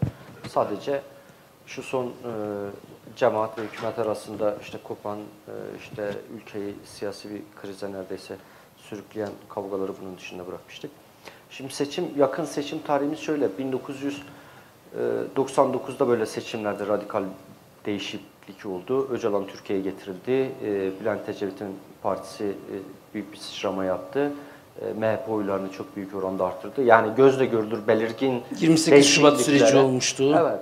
Yani belirgin fark e, farklar yaratan süreçlerden biri 99. 2002 çok ciddi bir siyasette e, değişimin yaşandığı dönem. AK Parti girdi. Pek çok parti seçim e, barajının altında kaldı. O zaman da ne vardı? Çok ciddi bir ekonomik kriz vardı. Yani yirmi- 28 Şubat'ın aslında ekonomik, toplumsal, siyasal sonuçlarını 2002 seçimlerinde daha iyi şey yapıldı, gözlendi. Ha bugün e, bakıyorum yani Gezi ve 17 Aralık e, bu nitelikte bir olay mı? Bu nitelikte bir olay olduğunu düşünmüyorum. 2007 yılında aslında benzer e, bir e, şey vardı, Gezi'ye benzer olaylar vardı. Cumhuriyet mitingleri inanılmaz şekilde ciddi bir toplumsal muhalefet görüntüsü sergileniyordu hükümete karşı. E, ama 2009 seçimleri AK Parti'nin güçlenmesiyle, 2011 AK Parti'nin güçlenmesiyle mesela sonuçlandı. Yani o yansıması çok fazla olmadı sandığa. Gezi ve 17 Aralık olaylarının da sandığa böyle radikal yansıyabileceğini şey yapmıyorum. Tahmin etmiyorum. Yani e, kutuplaşmanın artması, seçmen davranışında daha çok siyasi kimliğe göre oy, yani yerel seçim olmasına rağmen e, işte seçmen davranışını daha çok siyasi kimlik şey yapacak, belirleyecek. Yani böyle bir seçim atmosferi havasındayız. E, dindarlar, dindarlara, diğerleri, diğerlerine gibisinden bir hava hakim görünüyor. Ya bu anlamda çok ciddi seçim sandığına e, radikal değişiklik yansıtabileceğini sanmıyorum. Ha Kürt hareketi için yani e, işte demokratik özellik aslında e, uzun bir süredir tartışılıyor. Bence bundan sonra da tartışılacak. Kimse demokratik özellik çok net bir tarifinin olduğunu sanmıyorum. Belki hani siyasi durumla da ilgili BDP'nin aklından gönlünden geçen bildiğimiz biraz federasyona yakın çok e, şey özel bir devlet modeli aslında. Güvenliğinin, öz güvenliğinin yani dış politika hariç neredeyse bütün adalet, iç işleri, eğitim, sağlık, bütün işlerinin devraldığı bir yönetim modeli öngörülüyor. Ama bunlar hani belki de siyasetle, güçle, zamanla şekillenebilecek şeyler ya da devamlı e, değişim halinde ilerleyebilecek bir model olarak da düşünebiliriz onu. Bu anlamda BDP geçen seçimlerde de bunu kullanıyordu. Bu seçimlerde de bunu şey yapacak, seçim kozu. Bir de onu ayrıştıran özellik yani BDP'nin ağır seçmenine giderken daha ciddi Kürtlüğe referansla siyaset yapan bir parti onun e, siyasal modelinde böyle tasavvur ediyor. Bu açıdan e, BDP bu seçimde de sonra gelecek seçimde de aynı demokratik e, özellik tezini kullanacak. Bu seçimde hatta daha ileri gitti. Yani bizim bu coğrafyanın adı Kürdistan'dır. Kürdistan'ın kabulü olarak biz bu seçime giriyoruz ve bunu referandum olarak görüyoruz. Ama daha önceki seçimlerde referandum niteliği taşıyordu. Ondan önceki seçimlerde referandum niteliği taşıyordu. Ee, bununla bağlantılı HDP ile ilgili sorular merak ediliyor. Yani HDP bence iyi bir proje. Şunun için yani Kürt siyasal hareketi için iyi. Bundan önceki bütün seçimlere aslında e, Türk sol hareketleriyle birlikte girdiler zaten. Şu an daha bir e, somut bir e, Türk sol hareketi yarattılar. Hatta birleşecekler. Yani HDP şu an çok sol kimliğinin önünde olduğu parti olarak görünüyor ama gelecek seçimlere eğer bir değişiklik olmazsa BDP de bu çatı altında seçime girecek. Yani bu model bence iyi bir model. Yani e, hem BDP'yi dar bir kimlik siyasetinden çıkartıyor. Hem BDP'nin siyasi tasavvurunu genişletiyor. Türkiye geneliyle ilgili siyaset yapıyor. Belki bugüne kadar da öyle yapıyordu ama bunu seçmeni, kamuoyunu inandırmada ya da muhaliflerinin kendisi hakkında aleyhinde yaptığı propagandaları aşmada yetersiz kalıyordu. HDP bunun için bir e, aşama olabilir, ileri bir aşama olabilir. Ancak tabii siyasi seçim sonuçları sandıktan kötü sonuçlar çıkarsa bu da e, şey onlar için e, umut kırıcı da olabilir. Fakat stratejik olarak Kürt siyasi hareketinin e, Türkiye tasavvuruna sahip bir parti altında siyaset yapma şeyi gerçekliği değişmeyecek. Daha da ilerleyecek diye düşünüyorum bu model. E, bu anlamda yine hani seçimde CHP lehine ya da AK Parti lehine bir gelişme olabilir mi HDP modeli? Bence olmaz. Yani bunu CHP kullanmak istedi İstanbul için özellikle ama son görüşmelerden işte CHP Genel Başkanı ve e, yöneticileriyle yapılan görüşmede BDP açık ittifak yapılmasını önerdi. Onlar ise hayır açık ittifak değil işte yani sokakta fiili olarak biz işte ne bileyim İstanbul olduğu zaman siz bize destek verin diye ısrar ettiler ama ondan bir sonuç elde edemediler. Bence e, bu anlamda çok e, yani e, CHP lehine bir İstanbul'da bir gelişme olmaz ama haliyle Kürt seçmeni bence e, batıda doğrudan BDP'dir adresimiz e, İstanbul'da belki öyle davranacaktır ama diğer şehirlerde pek öyle ya da aday gösterilen şehirlerde pek öyle davranmayacaktır. Bu da oradaki seçmen profiline göre CHP'ye belki bir kısım oylar gidebilir ama tahminimce daha çok oylar e, şeye gidebilir, AK Partili adaylara gidebilir diye düşünüyorum. Ya Kürt siyasetinde bu genç kuşaktan bahsediliyor. Ya ben bu genç işte fırtına kuşağı olarak adlandırılıyor. Yani e, katılıyorum evet sokağa gittiğimizde şöyle bir gerçeklikle karşılaşıyoruz. Aa, e, çok katı düşünen yani e, PKK'nın ideolojik siyasi formasyonuyla fazla içli dışlı olmuş, ondan etkilenmiş. Biraz da e, Ankara'da hükümetlerin e, şu devletin baskıcı, şiddet içeren yüzünden dolayı uzaklaşmış e, bir kuşak. İşte söylenildiği gibi çok böyle diyalog kuşağı değil o, sokak hareketlerinin kuşağı gibi adlandırılıyor. Bence görünür de böyle bir izlenime sahip olsak bile ben yani bu çağda gençliğin yani Türkiye'de gençlik nasıl siyasetle ne bileyim yani iletişim e, devrimi yaşanan bir dönemde e, çok katı çok eğitimsiz, çok ideolojik kalıplar içerisine sıkışan bir gençlik olacağını sanmıyorum. Ha, yani bu şu anlamada gelmiyor. Bu yine BDP'nin gençliği olacak. Kürt siyasal hareketinin en azından o bölgedeki e, gençliği olacak. E, ideolojik olarak bir, biraz e, Kürt hareketinin merkezine bağlı olacak ama öyle katı, laftan anlamaz, eğitimsiz, üç kelimeyle hayatı şey yap sürdürmeye çalışan bir gençlik olması mümkün değil. Çünkü dünya gerçekten hem Türkiye ile hem dünya ile çok sıkı bir ilişki içerisinde herkes bir dönüşüm yaşıyor. Yani kimse bunun gerisinde kalabileceğini düşünmüyorum. Bu kuşağın da e, jenerasyonun da böyle bir geride kalabileceğini sanmıyorum. Ha yani Irak'taki bir gençlik olsa tamam yani onların toplumsal gelişmişlik düzeyi, imkanları, ekonomik altyapıları yetersiz olabilir ama e, Kürt gençleri için tahmin ediyorum ki o görüntü aşılacaktır. Siyasi rahatlama, e, diyalog, bölgenin özgür siyaset e, işte yapma koşullarının gelişmesi bence nüfusu daha olumlu yönde etkileyecek. Yani gençler de burada önde geliyor. Şu adayların yani siyaset yerel bir olaydır. Siyasete dışarıdan merkezi olarak adaylar e, atanabiliyor. AK Parti de yapıyor, CHP de yapıyor, BDP de yapıyor bunu. E, ama yanlış bir şey. Ben her zaman her parti içinde yani siyaset yerel bir şeydir yani doğrudan e, halkla o bölgeyle ilgilidir. İster genel siyaset içinde söylüyorum, yerel seçimlerle ilgilendiren boyutuyla da söylüyorum. Siyaset yerel bir şeydir. E, doğrudan o yerelle ilgili olan adayların seçilmesi daha doğrudur. Bu yani e, örgütün yapısıyla ilgili bir şey. Yani e, bürokratik bir e, şey yapılama, bürokratik bir tercih bu. Siyasi e, mevcut e, yönetici grubun da e, siyasi pozisyonuyla ilgili bir şey. E, yani yerelde kimi seçeceğiz? Ama biz e, hiç alakası yok. Diyarbakır'ın e, bir ilçesine e, Türkiye'den birini götürüp aday yaptık. Yani aday tercihlerinde bazen bakıyoruz evet Türk Sol Hareketi'nden birini götürüp aday yaptık ki bizim kardeşliğimizi, internasyonel duygularımızı, siyasette kimlik saplantımızın olmadığını göstermesi bakımından iyi görünüyor. Ama yine de bürokratik bir işlem bu. Yani bürokratik bir işlem bu. E, yerel seçimde e, adayları yerel kendisi belirlemesi gerekiyor. İster bu belediye seçimleri için olsun, ister bence genel milletvekilliği seçimleri için olsun. E, bu olması, ya BDP'nin bu sorunu ama her şey dönüşüyor. Yani dönüşüm içerisinde. Yani savaş koşullarında, çatışma dönemlerinde şekillenen bir e, siyasi parti vardı. Ama çözüm koşullarında yeniden yapılanan e, bir parti görüyoruz. Yani çatışma dönemlerinde BDP'nin etkisi çok sınırlıydı ama çözüm döneminde BDP kendisini büyütebilir diye umuyorum. Daha da e, şey yapabilir. Bu noktada da şunu söyleyeyim. AK Parti mi birinci parti, BDP mi birinci parti? Yani AK Parti'nin bölgede yani işte e, genel bir şemayı kullanıyoruz aslında. Klasik bir şema bu. Bunu Kürtlerin de çok reddettiği bir şema değil. Doğu ve Güneydoğu Kürdistan sınırları diye algılandığı için devamlı gündemde aslında olan bir şema. Bu da aslında AK Parti'nin de işine geldiği için o şemayı kullanıyor. Ama Kürtler de ya biz sadece Kürtlerin daha yoğun olduğu bölgedeki e, illerden bahsedelim. Onların karşılaştırmasını yapıyor.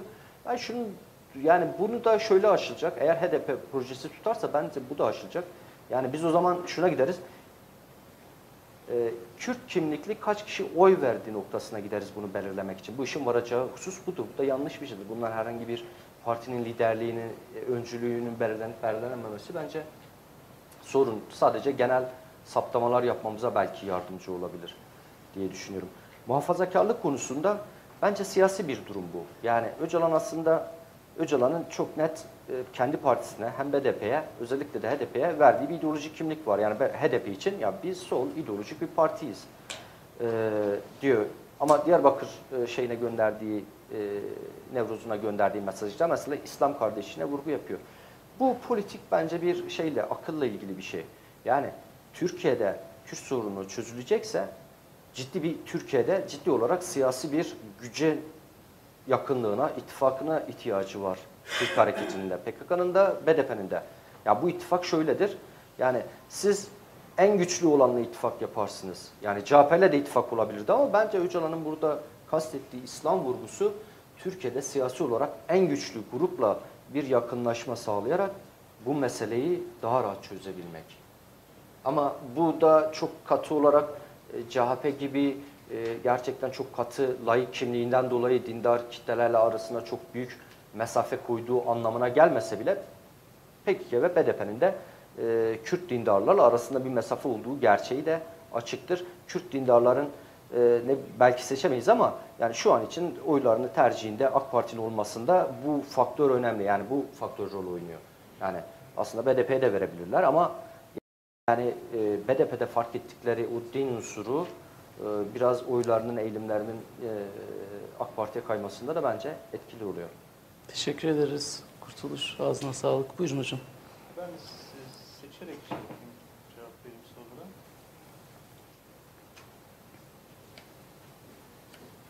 Şimdi şeyle başlayayım. E, demokratik özellik neye denk düşüyor? E, yani BDP'nin kimliği açısından. Şimdi naçizane e, herhalde bir onlarca demiyor ama bir, ona yakın toplantısına katıldım e, BDP'nin. Bu demokratik özellik meselesinin tartışıldığı DTK'nın. E, orada işte bütün bu fikir ilk ortaya atıldığından hani bugüne kadar e, epey bir toplantı yapıldı. Bunların da sağ, sağ olsunlar çoğuna çağırdılar. E, metinleri konuştuk vesaire. Söyleyebileceğim şu yani neye denk düşüyor demokratik özellik? E, bir kere bir şey yok hani bir müpemlik açık. Ee, yani Öcalan, PKK, BDP bunu nasıl yorumluyor ve sıradan insanlar nasıl yorumluyor? Bu konuda bir epey bir belirsizlik e, e, mevcut. Ama hani Öcalan'ın referansları bu işte nedir diye bakacak olursak onlar belli. İşte bu sözünü ettiğim raporda da epey bir gittim baktım bunlara. Ee, Öcalan işte demin e, Muhsin de söyledi bir hani kapitalist moderniteye karşı bir demokratik modernite fikrini tutturmuş gidiyor. Burada da daha böyle bir ekolojizm, anarşizm, e, bir böyle bir daha beldeye esas alan, belediyeye esas alan türden bir yerindencilik, hani bu türden fikirlerden e, etkilenmiş durumda. Bunlardan bir şey, öneri, demokratik özellik. Fakat şeyi söyleyeyim yani bu işte Amerika'da Murray Bookchin diye bir vatandaşın ortaya attığı bir şey ama hani çok öyle solda filan da popüler olmuş da bir tez e, değil. Aa, şey olarak hani e, Demokratik modernite kullanılmış mı daha önce bir yerde? demokratik modernite yani şey bilmiyorum ama mesela demokratik özellik kullanılmış. Hem e, yani bu şimdi kullanan e, şimdi ismini unutuyorum bu şey yaşlılık böyle bir şey E, ama biz hani bir kütüphaneden getirdik baktık e, dur şimdi aklıma gelecek. Ha? Kim? Yok e, neyse hatırlarım e, şeyi. E, bir edit kitapta yani şey demokratik özel, e, şey özellik kullanılmış. Şimdi e, şeye e, demin e, Kurtuluş da söyledi. Hani e, Öcalan'a falan e, bakacak olursak e, işte bu şeyi de içeren, öz savunmayı falan da e, içeren ve esas olarak da hani e, yerellerin kendi kendini yönetmesine e, dayalı bir e, şey, birlik. Ama PKK çevresinin, BDP çevresinin bu fikir etrafında ürettiği metinlere baktığımızda gerçekten mesela şunlar belirsiz. E, bu yerinden yönetim birimleri nedir? Yerinden yönetim birimlerinden mürekkep bir Kürdistan ortaya çıkacak mı? Bunlar mesela belirsiz. Ee, ya da bu işte e, yerinden yönetim birimleri mesela bir kongresi olacak ama burada demin Muhsin'in söylediği üzere çok partililik olacak mı olmayacak mı? Hani bunlar belirsiz. Ee, mesela yerinden yönetim birimlerinin e, seçtiği adaylar bir işte üst şeyden süzgeçten geçerek mi genel seçimlere ya da genel parlamentoya gidecekler? Yoksa bir hani genel parlamento seçimleri bölgede de bütün adayların eşit bir şekilde yarıştığı bir seçimden sonra mı belirlenecek? Bunlar hep belirsiz şeyler o metinlere baktığımızda. Dolayısıyla hani, te, e, hani şüphelenilmekte, e, önerinin antidemokratik karakterine karşı hani e, teyakkuz olunmasında fayda var ki ben bunu zaten ol, ol, olduğum toplantıda hepsinde de söyledim. Ama BDP'nin buradan ürettiği metine baktığımızda e, bence gayet medeni bir e, federalizm e, önerisi e, BDP'nin e, taslağında söz konusu. E, BDP esas olarak maliyeyi, dışişlerini, e, güvenliği, yargıyı vesaire e, merkezi otoriteye bırakıp diğer bütün işlerde e, eyalet biriminin e, esas olarak hani şey olduğu e, yasama ve yürütme e, yetkisini e, kullanabildiği bir şey federalizm e, öneriyor. E, dolayısıyla hani BDP'nin önerisinde bence anlaşılmayan bir şey yok. Ben burada yöntemsel olarak da şeye esas almak gerektiğini düşünüyorum. Yani PKK'nin ne söylediğinden, kitlelerin onu nasıl anladığından değil, BDP'nin parlamentoda ne yaptığına bakmak gerektiğini düşünüyorum. O itibarla BDP'nin bu e, anayasa çalışmalarında önerdiği anayasa taslağını esas olarak hani konuşmak e, herhalde gerekir. Valla orada da gördüğüm e, yani kim demokrasiden ne anlıyor bilmiyorum ama yani fersah fersah ilerisindeydi bütün diğer üç partinin de e, anayasa önerisi de, demokratiklik açısından e, BDP'nin. E, dolayısıyla hani şey e, hani bir belediye başkanı Eskişehir'deki belediye başkanından nasıl farklı olmak istiyor derseniz çok kısaca anladığım vali olmak istiyor aslında şeyler. Valiler lüzumsuz buluyorlar. Bana da sorarsanız da valilik lüzumsuz bir kurum Türkiye'de. Yani hangi işi e, valinin gördüğü hangi işi bir belediye başkanı göremez? Hani bunu anlamak çok e, şey mümkün değil. Yani niye Türkiye'de halen e, bir takım işte yönetsel işler Ankara'dan, o bölgeye ait olmayan insanlar tarafından hani ifa edilir, e, onu anlamak zor. Ama benim e, kişisel konuşmalarımdan da edindiğim belediye başkanlarıyla, BDP'li siyasetçilerden de edeyim, edindiğim, valilerin gördüğü işleri sonra kendileri e, e, görmek istiyorlar. Şimdi ikinci bir şey HDP ile ilgili. E, HDP ne yapar, süre sıraya çekilir mi filan? Şimdi ben HDP projesine e, yani BDP siyasetine yakın duran biri olarak, oraya oy vermiş biri olarak da hiç e, şey sempatik bakan biri değilim. Değildim yakın zamana kadar da. Halen de çok olduğum söylenemez. E, ben BDP'nin bir bölge partisi olarak e, varlığını devam ettirmesi gerektiğini düşünüyorum ve Türkiye soruyla girilecek bir iş işte işbirliğinin e, hani Kürt siyasetine, Kürt ideallerinin gerçekleştirilmesine vesaire bir katkısı olacağını düşünenlerden değilim. E, olumsuz etkileri e, olabilir. Yani bence Kürt siyasetinin Türkiye'lileşmek gibi bir şeyi çok iyi bir hedef değil. Ben Türkiye Cumhuriyeti'nin Türkiye'lileşmesi gerektiğini düşünüyorum. Türkiye Cumhuriyeti Türkiye'li değil. Türkiye Cumhuriyeti Türk bir yer esas olarak. O Türkiye'lileşme şeyi misyonuyla esas olarak hani borçlu olan e, Türkiye Cumhuriyeti e, diye düşünüyorum. E, ama bu son gelişme yani AK Parti cemaat arasındaki gerilim e, şey yapabilir, HDP'yi e, büyütebilir. Yani bir kısım yerlerde bir bir şey ona bir gövde kazandırabilir. Çok böyle gürbüz bir gövde olmaz bu. CHP'den kopuşlarla mı? Evet CHP'den de AK Parti'den de olabilir. Daha önce AK Parti gitmiş Kürtlerden de olabilir. Buralardan bir, bir sürü yerden, bir sürü kaynaktan e, gelebilir. Ama mesela Ankara'da hani çok işaretini almadık ama Alevilerin memnun olmadığını biliyoruz bu MHP'li adaydan falan e, dolayı. E, bir, bir iki küçük hani kaynak, akarsu şey yapabilir, HDP'ye akabilir. Şimdi hani bir açıdan açıkça hani kendi şeyimi karmaşıklığımı söyleyeyim. E, bu iyi olabilir gibi görünüyor ama bir açıdan da yani HDP mevcut programıyla, ideolojisiyle bu kendine gelen desteği, bu ideolojinin programın onaylanması olarak okursa bu bence iyi bir şey olmaz. Tamam? Yani e, çünkü hani orayı dün işte bir televizyon programında da söyledim. Naif bir e, solculuğun e, esas olduğunu düşünüyorum HDP'de. Dolayısıyla hani buradan başarılı çıkarsa HDP bunu sorgulama ihtiyacı hiç duymaz artık bu saatten sonra. Bu da hem Kürtlere hem hani Kürtlerle işbirliği yapacak sola çok hayırlı e, olmaz diye düşünüyorum. Öcalan İslam kardeşliği bu BDP İslam bunları hepsini bir arada değerlendireyim. Din, diyanet işlerini. Şimdi e, çok vaktimiz yok ama böyle küçük küçük başlıklar yedim. Şimdi Kürtler evet dindar bir toplum. Günlük hayatlarını düzenlemede İslam onlar için belki yani Türkiye'li kardeşlerinden daha güçlü bir referans. Bunlar hepsi söylenebilir. Ancak e, siyasal olarak İslam bir, mesela siyasal İslamcılık Kürtler arasında yine bu buraya kıyasla aynı seviyede bir karşılık bulmuş mudur? Hani buna çok olumlu bir cevap vermek çok mümkün gibi görünüyor. E, fakat şeyi görmek gerekiyor. Yani e, demin Kurtuluş da biraz ucundan bucağından dokundu ama yani BDP evet seküler bir parti, PKK seküler bir hareket. Ama BDP sekülerizminin CHP sekülerizmle bir ilişkisi yok. Ya da BDP sekülerleriyle CHP sekülerleri arasında da bir ilişki yok. Bir benzerlik yok. Ben bunu çok uzatmadan şeyi söyleyeyim. Ee, yani kendim de bu işin içinde biri olarak e, bir ortalama Türk sekülerinin 68'de mesela sosyalize olmuş bir Türk sosyalistinin dinle, İslam'la mesafesini bir Kürt sosyalisti yaşamadı, yaşamadı. Yaşamıyor da zaten. Ee, dediğim tek bir sosyolojik şey vereyim, örnek. 68 kuşağındaki böyle 100 tane adamı çıkarın, e, şey, şeyine bakın, demografik işte ölç nedir o kriterlere. Birçok öğretmen ve subay çocuğu göreceksinizdir orada.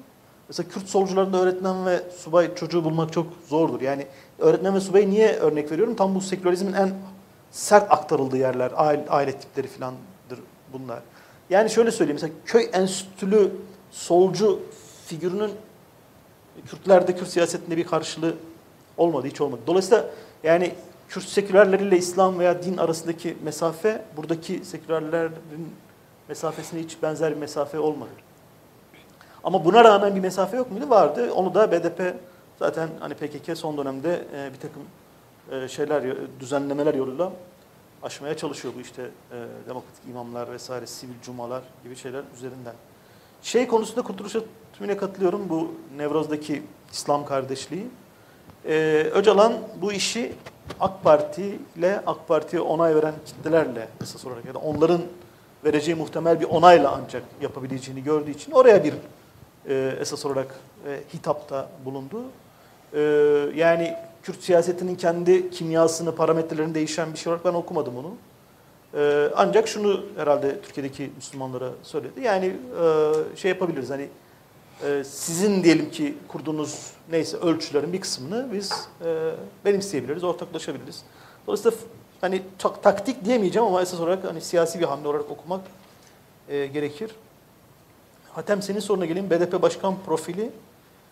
E, şimdi bir tane bu sözünü ettiğin yüksek profilin bir önemli sebebi biliyorsun BDP'nin iki dönem kuralı var. AK Parti'deki üç dönem kuralından daha önce BDP'nin bir iki dönem kuralı var. Yani burada da mes- mesela medya zaman zaman kafa karıştırıyor. Hatta Başbakan da galiba bunu kullandı bu son Diyarbakır ziyaretinde.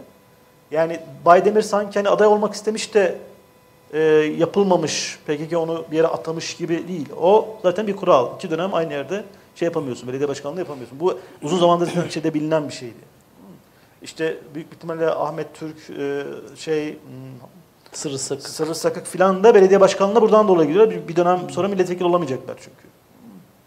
Ee, bir bununla ilgili. ikincisi biliyorsun bütün partiler aynı şeyi yapıyor. Yani Türkiye'de belediyeler artık çok önemli yerler haline geldi. AK Parti de yapıyor bunu, CHP de yapıyor. Yani yüksek profil belediye başkanlığı e, Türkiye siyasetinde e, şey- Yerelleşmenin bir- evet evet bir bir şeyi e, hele bu e, işte yeni yani hem büyükşehir tasarısı, büyükşehir yasası hem de eğer olursa ileride bir yerel yönetimlerin güçlendirilmesi falan orada daha da önemli olacak. Dolayısıyla herkes şimdiden burada yönelik e, e, mevzi e, alıyor. Bir de tabii ki hani BDP'nin de sonunda bir bölge partisi. Yani orada etkili olmayı daha çok hakikaten e, önemsiyor. Bütün bu Türkiye'lileşme falan hikayelerine rağmen. Son bir şey kadın meselesine ilişkin söyleyeyim. Şimdi e, BDP'nin e, hem kadın meselesinde hem Türkiye'nin diğer meselelerde yapıp ettikleri bence çok hakikaten hakkınca değerlendirilen şeyler değil. Mesela parlamentoda BDP'nin e, hem komisyonlarda hem işte genel kurulda yaptığı faaliyetleri zaman zaman bize gönderiyorlar. Hani bültenler halinde bakıyoruz. E, orada görünen hani BDP bütün bu işlere karşı ya da diyelim Kürt meselesi harici işlere duyarsızdır diyebilecek bir profil çıkmıyor hakikaten. Ötesinde bu e, yani bahsettiğiniz özellikle kadınları ilgilendiren toplumsal meseleler konusunda şunu bir söyleyeyim. Daha bugün galiba gelirken Taraf Gazetesi'nde yanılmıyorsam okudum. E, mesela şey erken evlilik kadınlardan yüksek Nevşehir'den iyi de çıkmış durumda. Yani oradaki toplumsal sorunların bir kısmı e, işte Kürdistan haricinde yerlerde de yaşanıyor ama hani e, Kürt illerinde bunun biraz daha fazla olduğunu hani kabul etmek mümkün. Fakat öte yandan şunu rahatla söyleyebilirim. Bu durumu değiştirme etkisi en fazla üreten aktör de BDP. Sadece adaylarına bakmak, e, sadece işte siyaset yapanlarına bakmak e, bunu gösteriyor. BDP'nin biliyorsunuz eş başkanlık sistemi e, uyguluyor ve her e, belediyede bir erkek, bir kadın e, e, adayı var. E, işte Büyükşehir, e, Diyarbakır Büyükşehir'de yani seçilecek önemli yerlerde de kadınlar aday gösterilmiş durumda. Yani sözün özü şunu söyleyeceğim.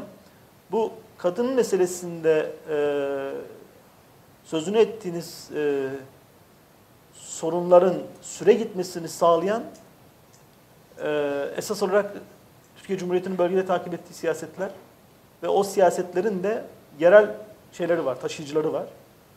E, bu siyasetler takip edilmezse ve o yerel taşıyıcılara bu kadar güvenilmezse bence bu sözünü ettiğiniz sosyolojik meseleler de daha kolay e, halledilebilir. Yani e, bir şeyle bitireyim. Şöyle yapıyoruz zaman zaman. E, BDP yönelik değerlendirmeler çok çelişkili olabiliyor.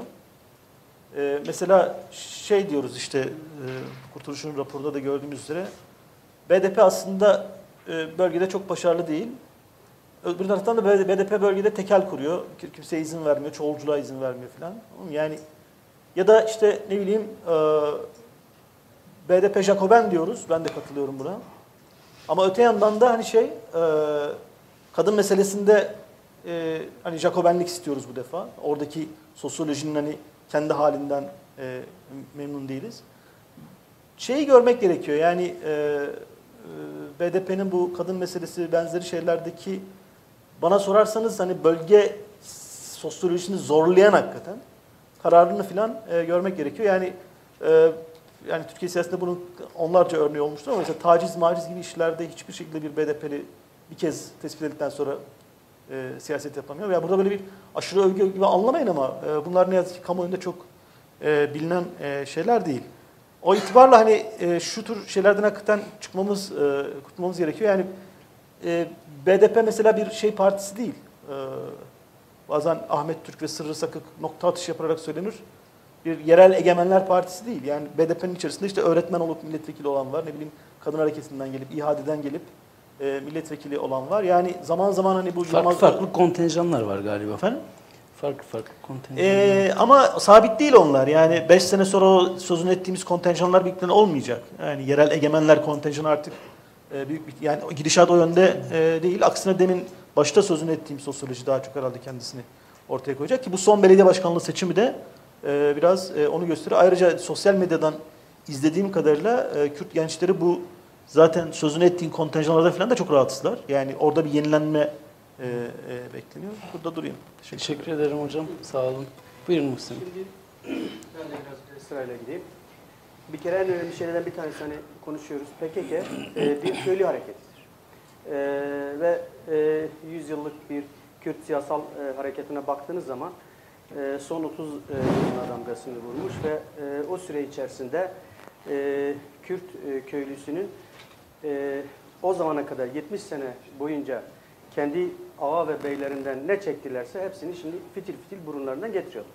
Yani bunu e, belediyeleri ellerinden alarak, e, bazı yerlerde topraklarını kamulaştırarak, bazı yerlerde vergiler koyarak vesaire vesaire. Yani bir yeni bir iktidar e, alanı yaratılıyor. Bu e, baştan itibaren eğer amaç bir devlet kurmak değilse ki bu fikirden uzaklaştığını ısrarla Öcalan ve diğer yandaşları da söylüyor. O zaman otomatik olarak sorun iktidar olmaya e, meyilli bir şeye dönüşüyor. Yani e, Türkiye Cumhuriyeti Devleti'ne diyor ki e, burayı sen değil e, ben yöneteyim.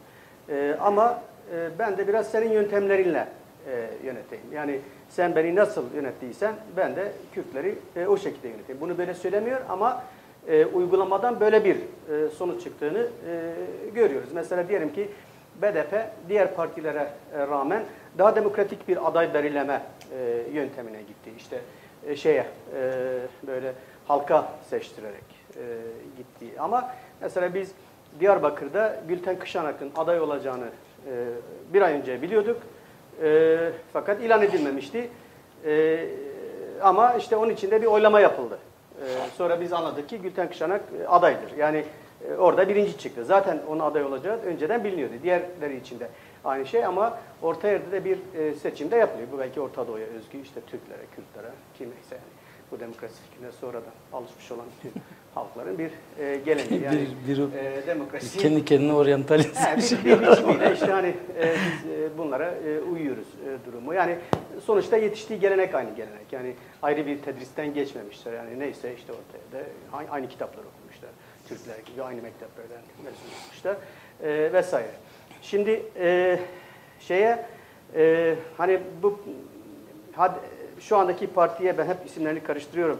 E, HDP'ye niye ihtiyaç e, duyuldu ve sonuçta ne olur? E, demin de dediğim gibi yani e, Öcalan e, zinhar e, bir e, milliyetçi görünmek istemiyor.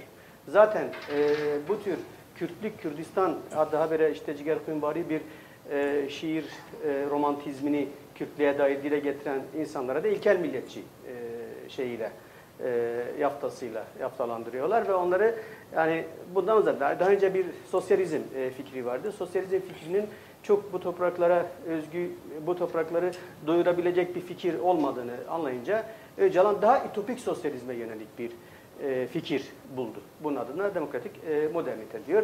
Demokratik modernitenin e, esası şudur. E, ulus devlet modeli bir mikroptur. Türkler bunu denediler. E, bu mikrobu Kürtlerin kanına da bulaştırmayalım. O zaman ne yapalım? Ulus devlet modelinden tamamıyla vazgeçelim. E, topraklarda, bu topraklarda yaşayan ne kadar halk varsa hepsine tek ulus diyelim. Ama hepsinin e, kültürlerine, varlıklarına da e, şey yapalım, e, saygı duyalım. Bunun buna bir etnisite adını koymayalım. Yani Türk ulusu, Kürt ulusu, Arap ulusu, e, Fars ulusu, Çingene falan demeyelim. Hepsine demokratik ulus diyelim. Ama içlerinden diğerleri de herkes kendi kültürleriyle de e, var olsun. Bu bir bölgede ilan edilebilecek demokratik özellikle çözülebilecek bir model değildir. Öcalan aslında şu anda dünya siyaset literatürüne bir olmayan bir sistem e, öneriyor. E, Marksizm sonrası. Yani çünkü bu fikirlerin tümü e, neo-Marksistlerden e, türemiş fikirlerdir. E, sosyalizmi kırdıktan sonra Avrupalı neo-Marksistler hani ne yapabiliriz diye bazı e, kitaplar yazdılar. Bunları İsveç'te belli model yerlerde uygulama biçimleri var. Ne yapıyorlar? Mesela İsveç e, şeyleri, komünistleri e, genel seçimlerde yüzde bir e, oy almıyorlar. Ama yerel seçimlerde tümünü ülkenin neredeyse yüzde ellisinden fazlasını ele geçiriyorlar. Niye? Çünkü çok iyi yönetiyorlar belediyeleri. Yani bu eşitlik meselesini hakikaten hakkaniyet ölçüleri içerisinde komünist fikriyat birebir hayata geçiyor. Yani üstelik de bölgeler ayrılmışlar. Yani İsveç diyelim ki 8,5 milyon nüfusu olan bir ülke. Ee, ama e, 6-7 tane bölgesi var. Bu bölgelerin şeyleri var, bayrakları var. E, bu bölgelerin parlamentoları var. Ama bunlar hiçbir tanesi şey değil. E, yazılı şeylerde belirlenmiş bir şey değil. Halk bunu böyle uygun görmüş. İşte bir milyon tane dernek var. Üç kişi bir araya gelmiş, dernekleri konmuş ve e, devlet bütün bu işlere karışmıyor. Onlar kendi aralarında hallediyorlar. İşte çanak anten e, şeye koyacaksan gidip o meclisten izin alman lazım. Oraya bir ağaç senin çanak antenini e, engelliyorsa o ağacın dalını kesmen için gidip bilmem neredeki dernekten izin alman lazım. Yani böyle bir e, demokratik yapı, halkın katıldığı ama tabii ki orası İsveç. Yani burada hani ağacı kesmeye kalkarsan ne olur ya da keser, keser, kesme, kesmezsen ne olur onu bilmiyorum. Çünkü işte ne bileyim basit bir örnek vereyim. Hakkari'de belediye e, e, ilk BDP belediye başkanı e, geldiğinde Hüseyin Ümit benim arkadaşımdı. Oraya gittim. İki tane e, vatandaş gelmişti ve odasında tartışıyorlardı. Bir tanesi ev yapmış, iki katlı ev yapmış. Yanındaki de bir ev daha yapmış. Fakat bu e, yanındaki adam iki katı çıkmış. iki katı çıktıktan sonra böyle geçmiş bunun damından. Buradan yükselmiş iki katta. Yani öbür, öbürünün evi bunun altında kalmış. Şimdi bu diyor ki ya diyor benim evimin altına üstüne ev yaptı diyor. Adam diyor ki ya kardeşim diyor toprak senin hava da mı senin? ben havaya yaptım. Yani ben senin toprağını işgal etmek ki senin evin üstünden geçtim. Ya da birisi gitmiş tam böyle şey işte orada logar var, e, kapağı var, e, kanalizasyon. Tam oraya ev yapmış. Ev yapmış, partili biri. Evinde yıkamıyorsun. E, patlamış logar evin içinde kanalizasyon suyu. Ona gelmiş böyle diyor ki bunu çare bul. Şimdi ona hiçbir şey yapamaz. Yani o hani o ev, evi yıksan başka bir, bir maaş olur, başka türlü. Dolayısıyla yani bütün bunlara alışmak, bütün bunları yeniden üretmek, bütün bunları bilmem neyini yapmak uzun bir iş. Ee, bir bir şeyler oluyor işte ne bileyim. Mesela dünyanın en sulak memleketi Hakkari'dir. 10 metre sonra su vardır. Hakkari'de su yoktur. 10 kilometre e, yolu vardır şehir içinde. Asfalt değil. İşte çok az çöp üretir çünkü yoksullar çöp, çöp üretmez. Zenginler çöp üretir. Ee, sokaklarda çöpten geçilmiyor. Şimdi böyle bir yerde yani sen ve iki dönemdir Cizre'den bir tane adam getirmiş, bir mela, imam. Yani hakikaten de imam. Ve de BDP ile bir alakası yok ve muhafazakar bir biri oraya gelmiş ama adamın hiç o halkı tanımıyor, bilmiyor. Sabahtan akşama nereye gitti? El Fatiha diye hep beraber Fatiha okuyorlar. Ondan sonra ama şimdi e, öbür işlerde olmuyor yani Fatiha ile. Hani ödenek lazım, bir şey üretmen lazım, ne bileyim proje geliştirmen lazım. Velhasıl yani zor bir iş. Şimdi buradan giderek işte bu muhafazakarlık meselesiyle ilgili bir şey söyleyip kapatayım. Şimdi Kürtler de muhafazakarlık, Kürtler de din meselesi hiçbir zaman bir iktidar aracı olarak görülmüyor din. Din içselleştirilmiş bir şeydir. Yani dinin mensupları, dini yayan, dini anlatan, dini öneren, din, din görevini yapan adamların bir yeri vardır ve saygındırlar. Onlar bilir, onlar meladır, onlara dalışıp danışılır. Onlar sopa kullanmaz, onlar silah kullanmaz, onlar kılıç kullanmaz, onlar şiddet yapmaz. Onlar hiç, onlar onlar uhrevi insanlardır, güzel insanlardır. Dolayısıyla diğer insanlar da hep onlara benzemek ister. Ama sen dinin içine şiddeti, iktidar aracı olmayı, bilmem ötekiyi bilmem ne yapmayı, velhasıl ya da tele kulak yapmayı, öbürü dinlemeyi, şu anda bahsettiğim bu başımıza bela olan ne varsa. Bütün bunlar insanlar dinden ne ya? Böyle din mi olur ya? Böyle şey mi olur? Yani onlar dolayısıyla onu, o yüzden onu bir yerde tutuyorlar. Bu siyasal İslam bu tarafına hep mesafeli duruyorlar. Ama orada da güzel bir seküler tarafı da götürüyorlar. Yani laik bir tarafı içinde de dinle de hakaret ettirmiyor o koşullarda. Şimdi bunu Öcalan çabuk görmedi.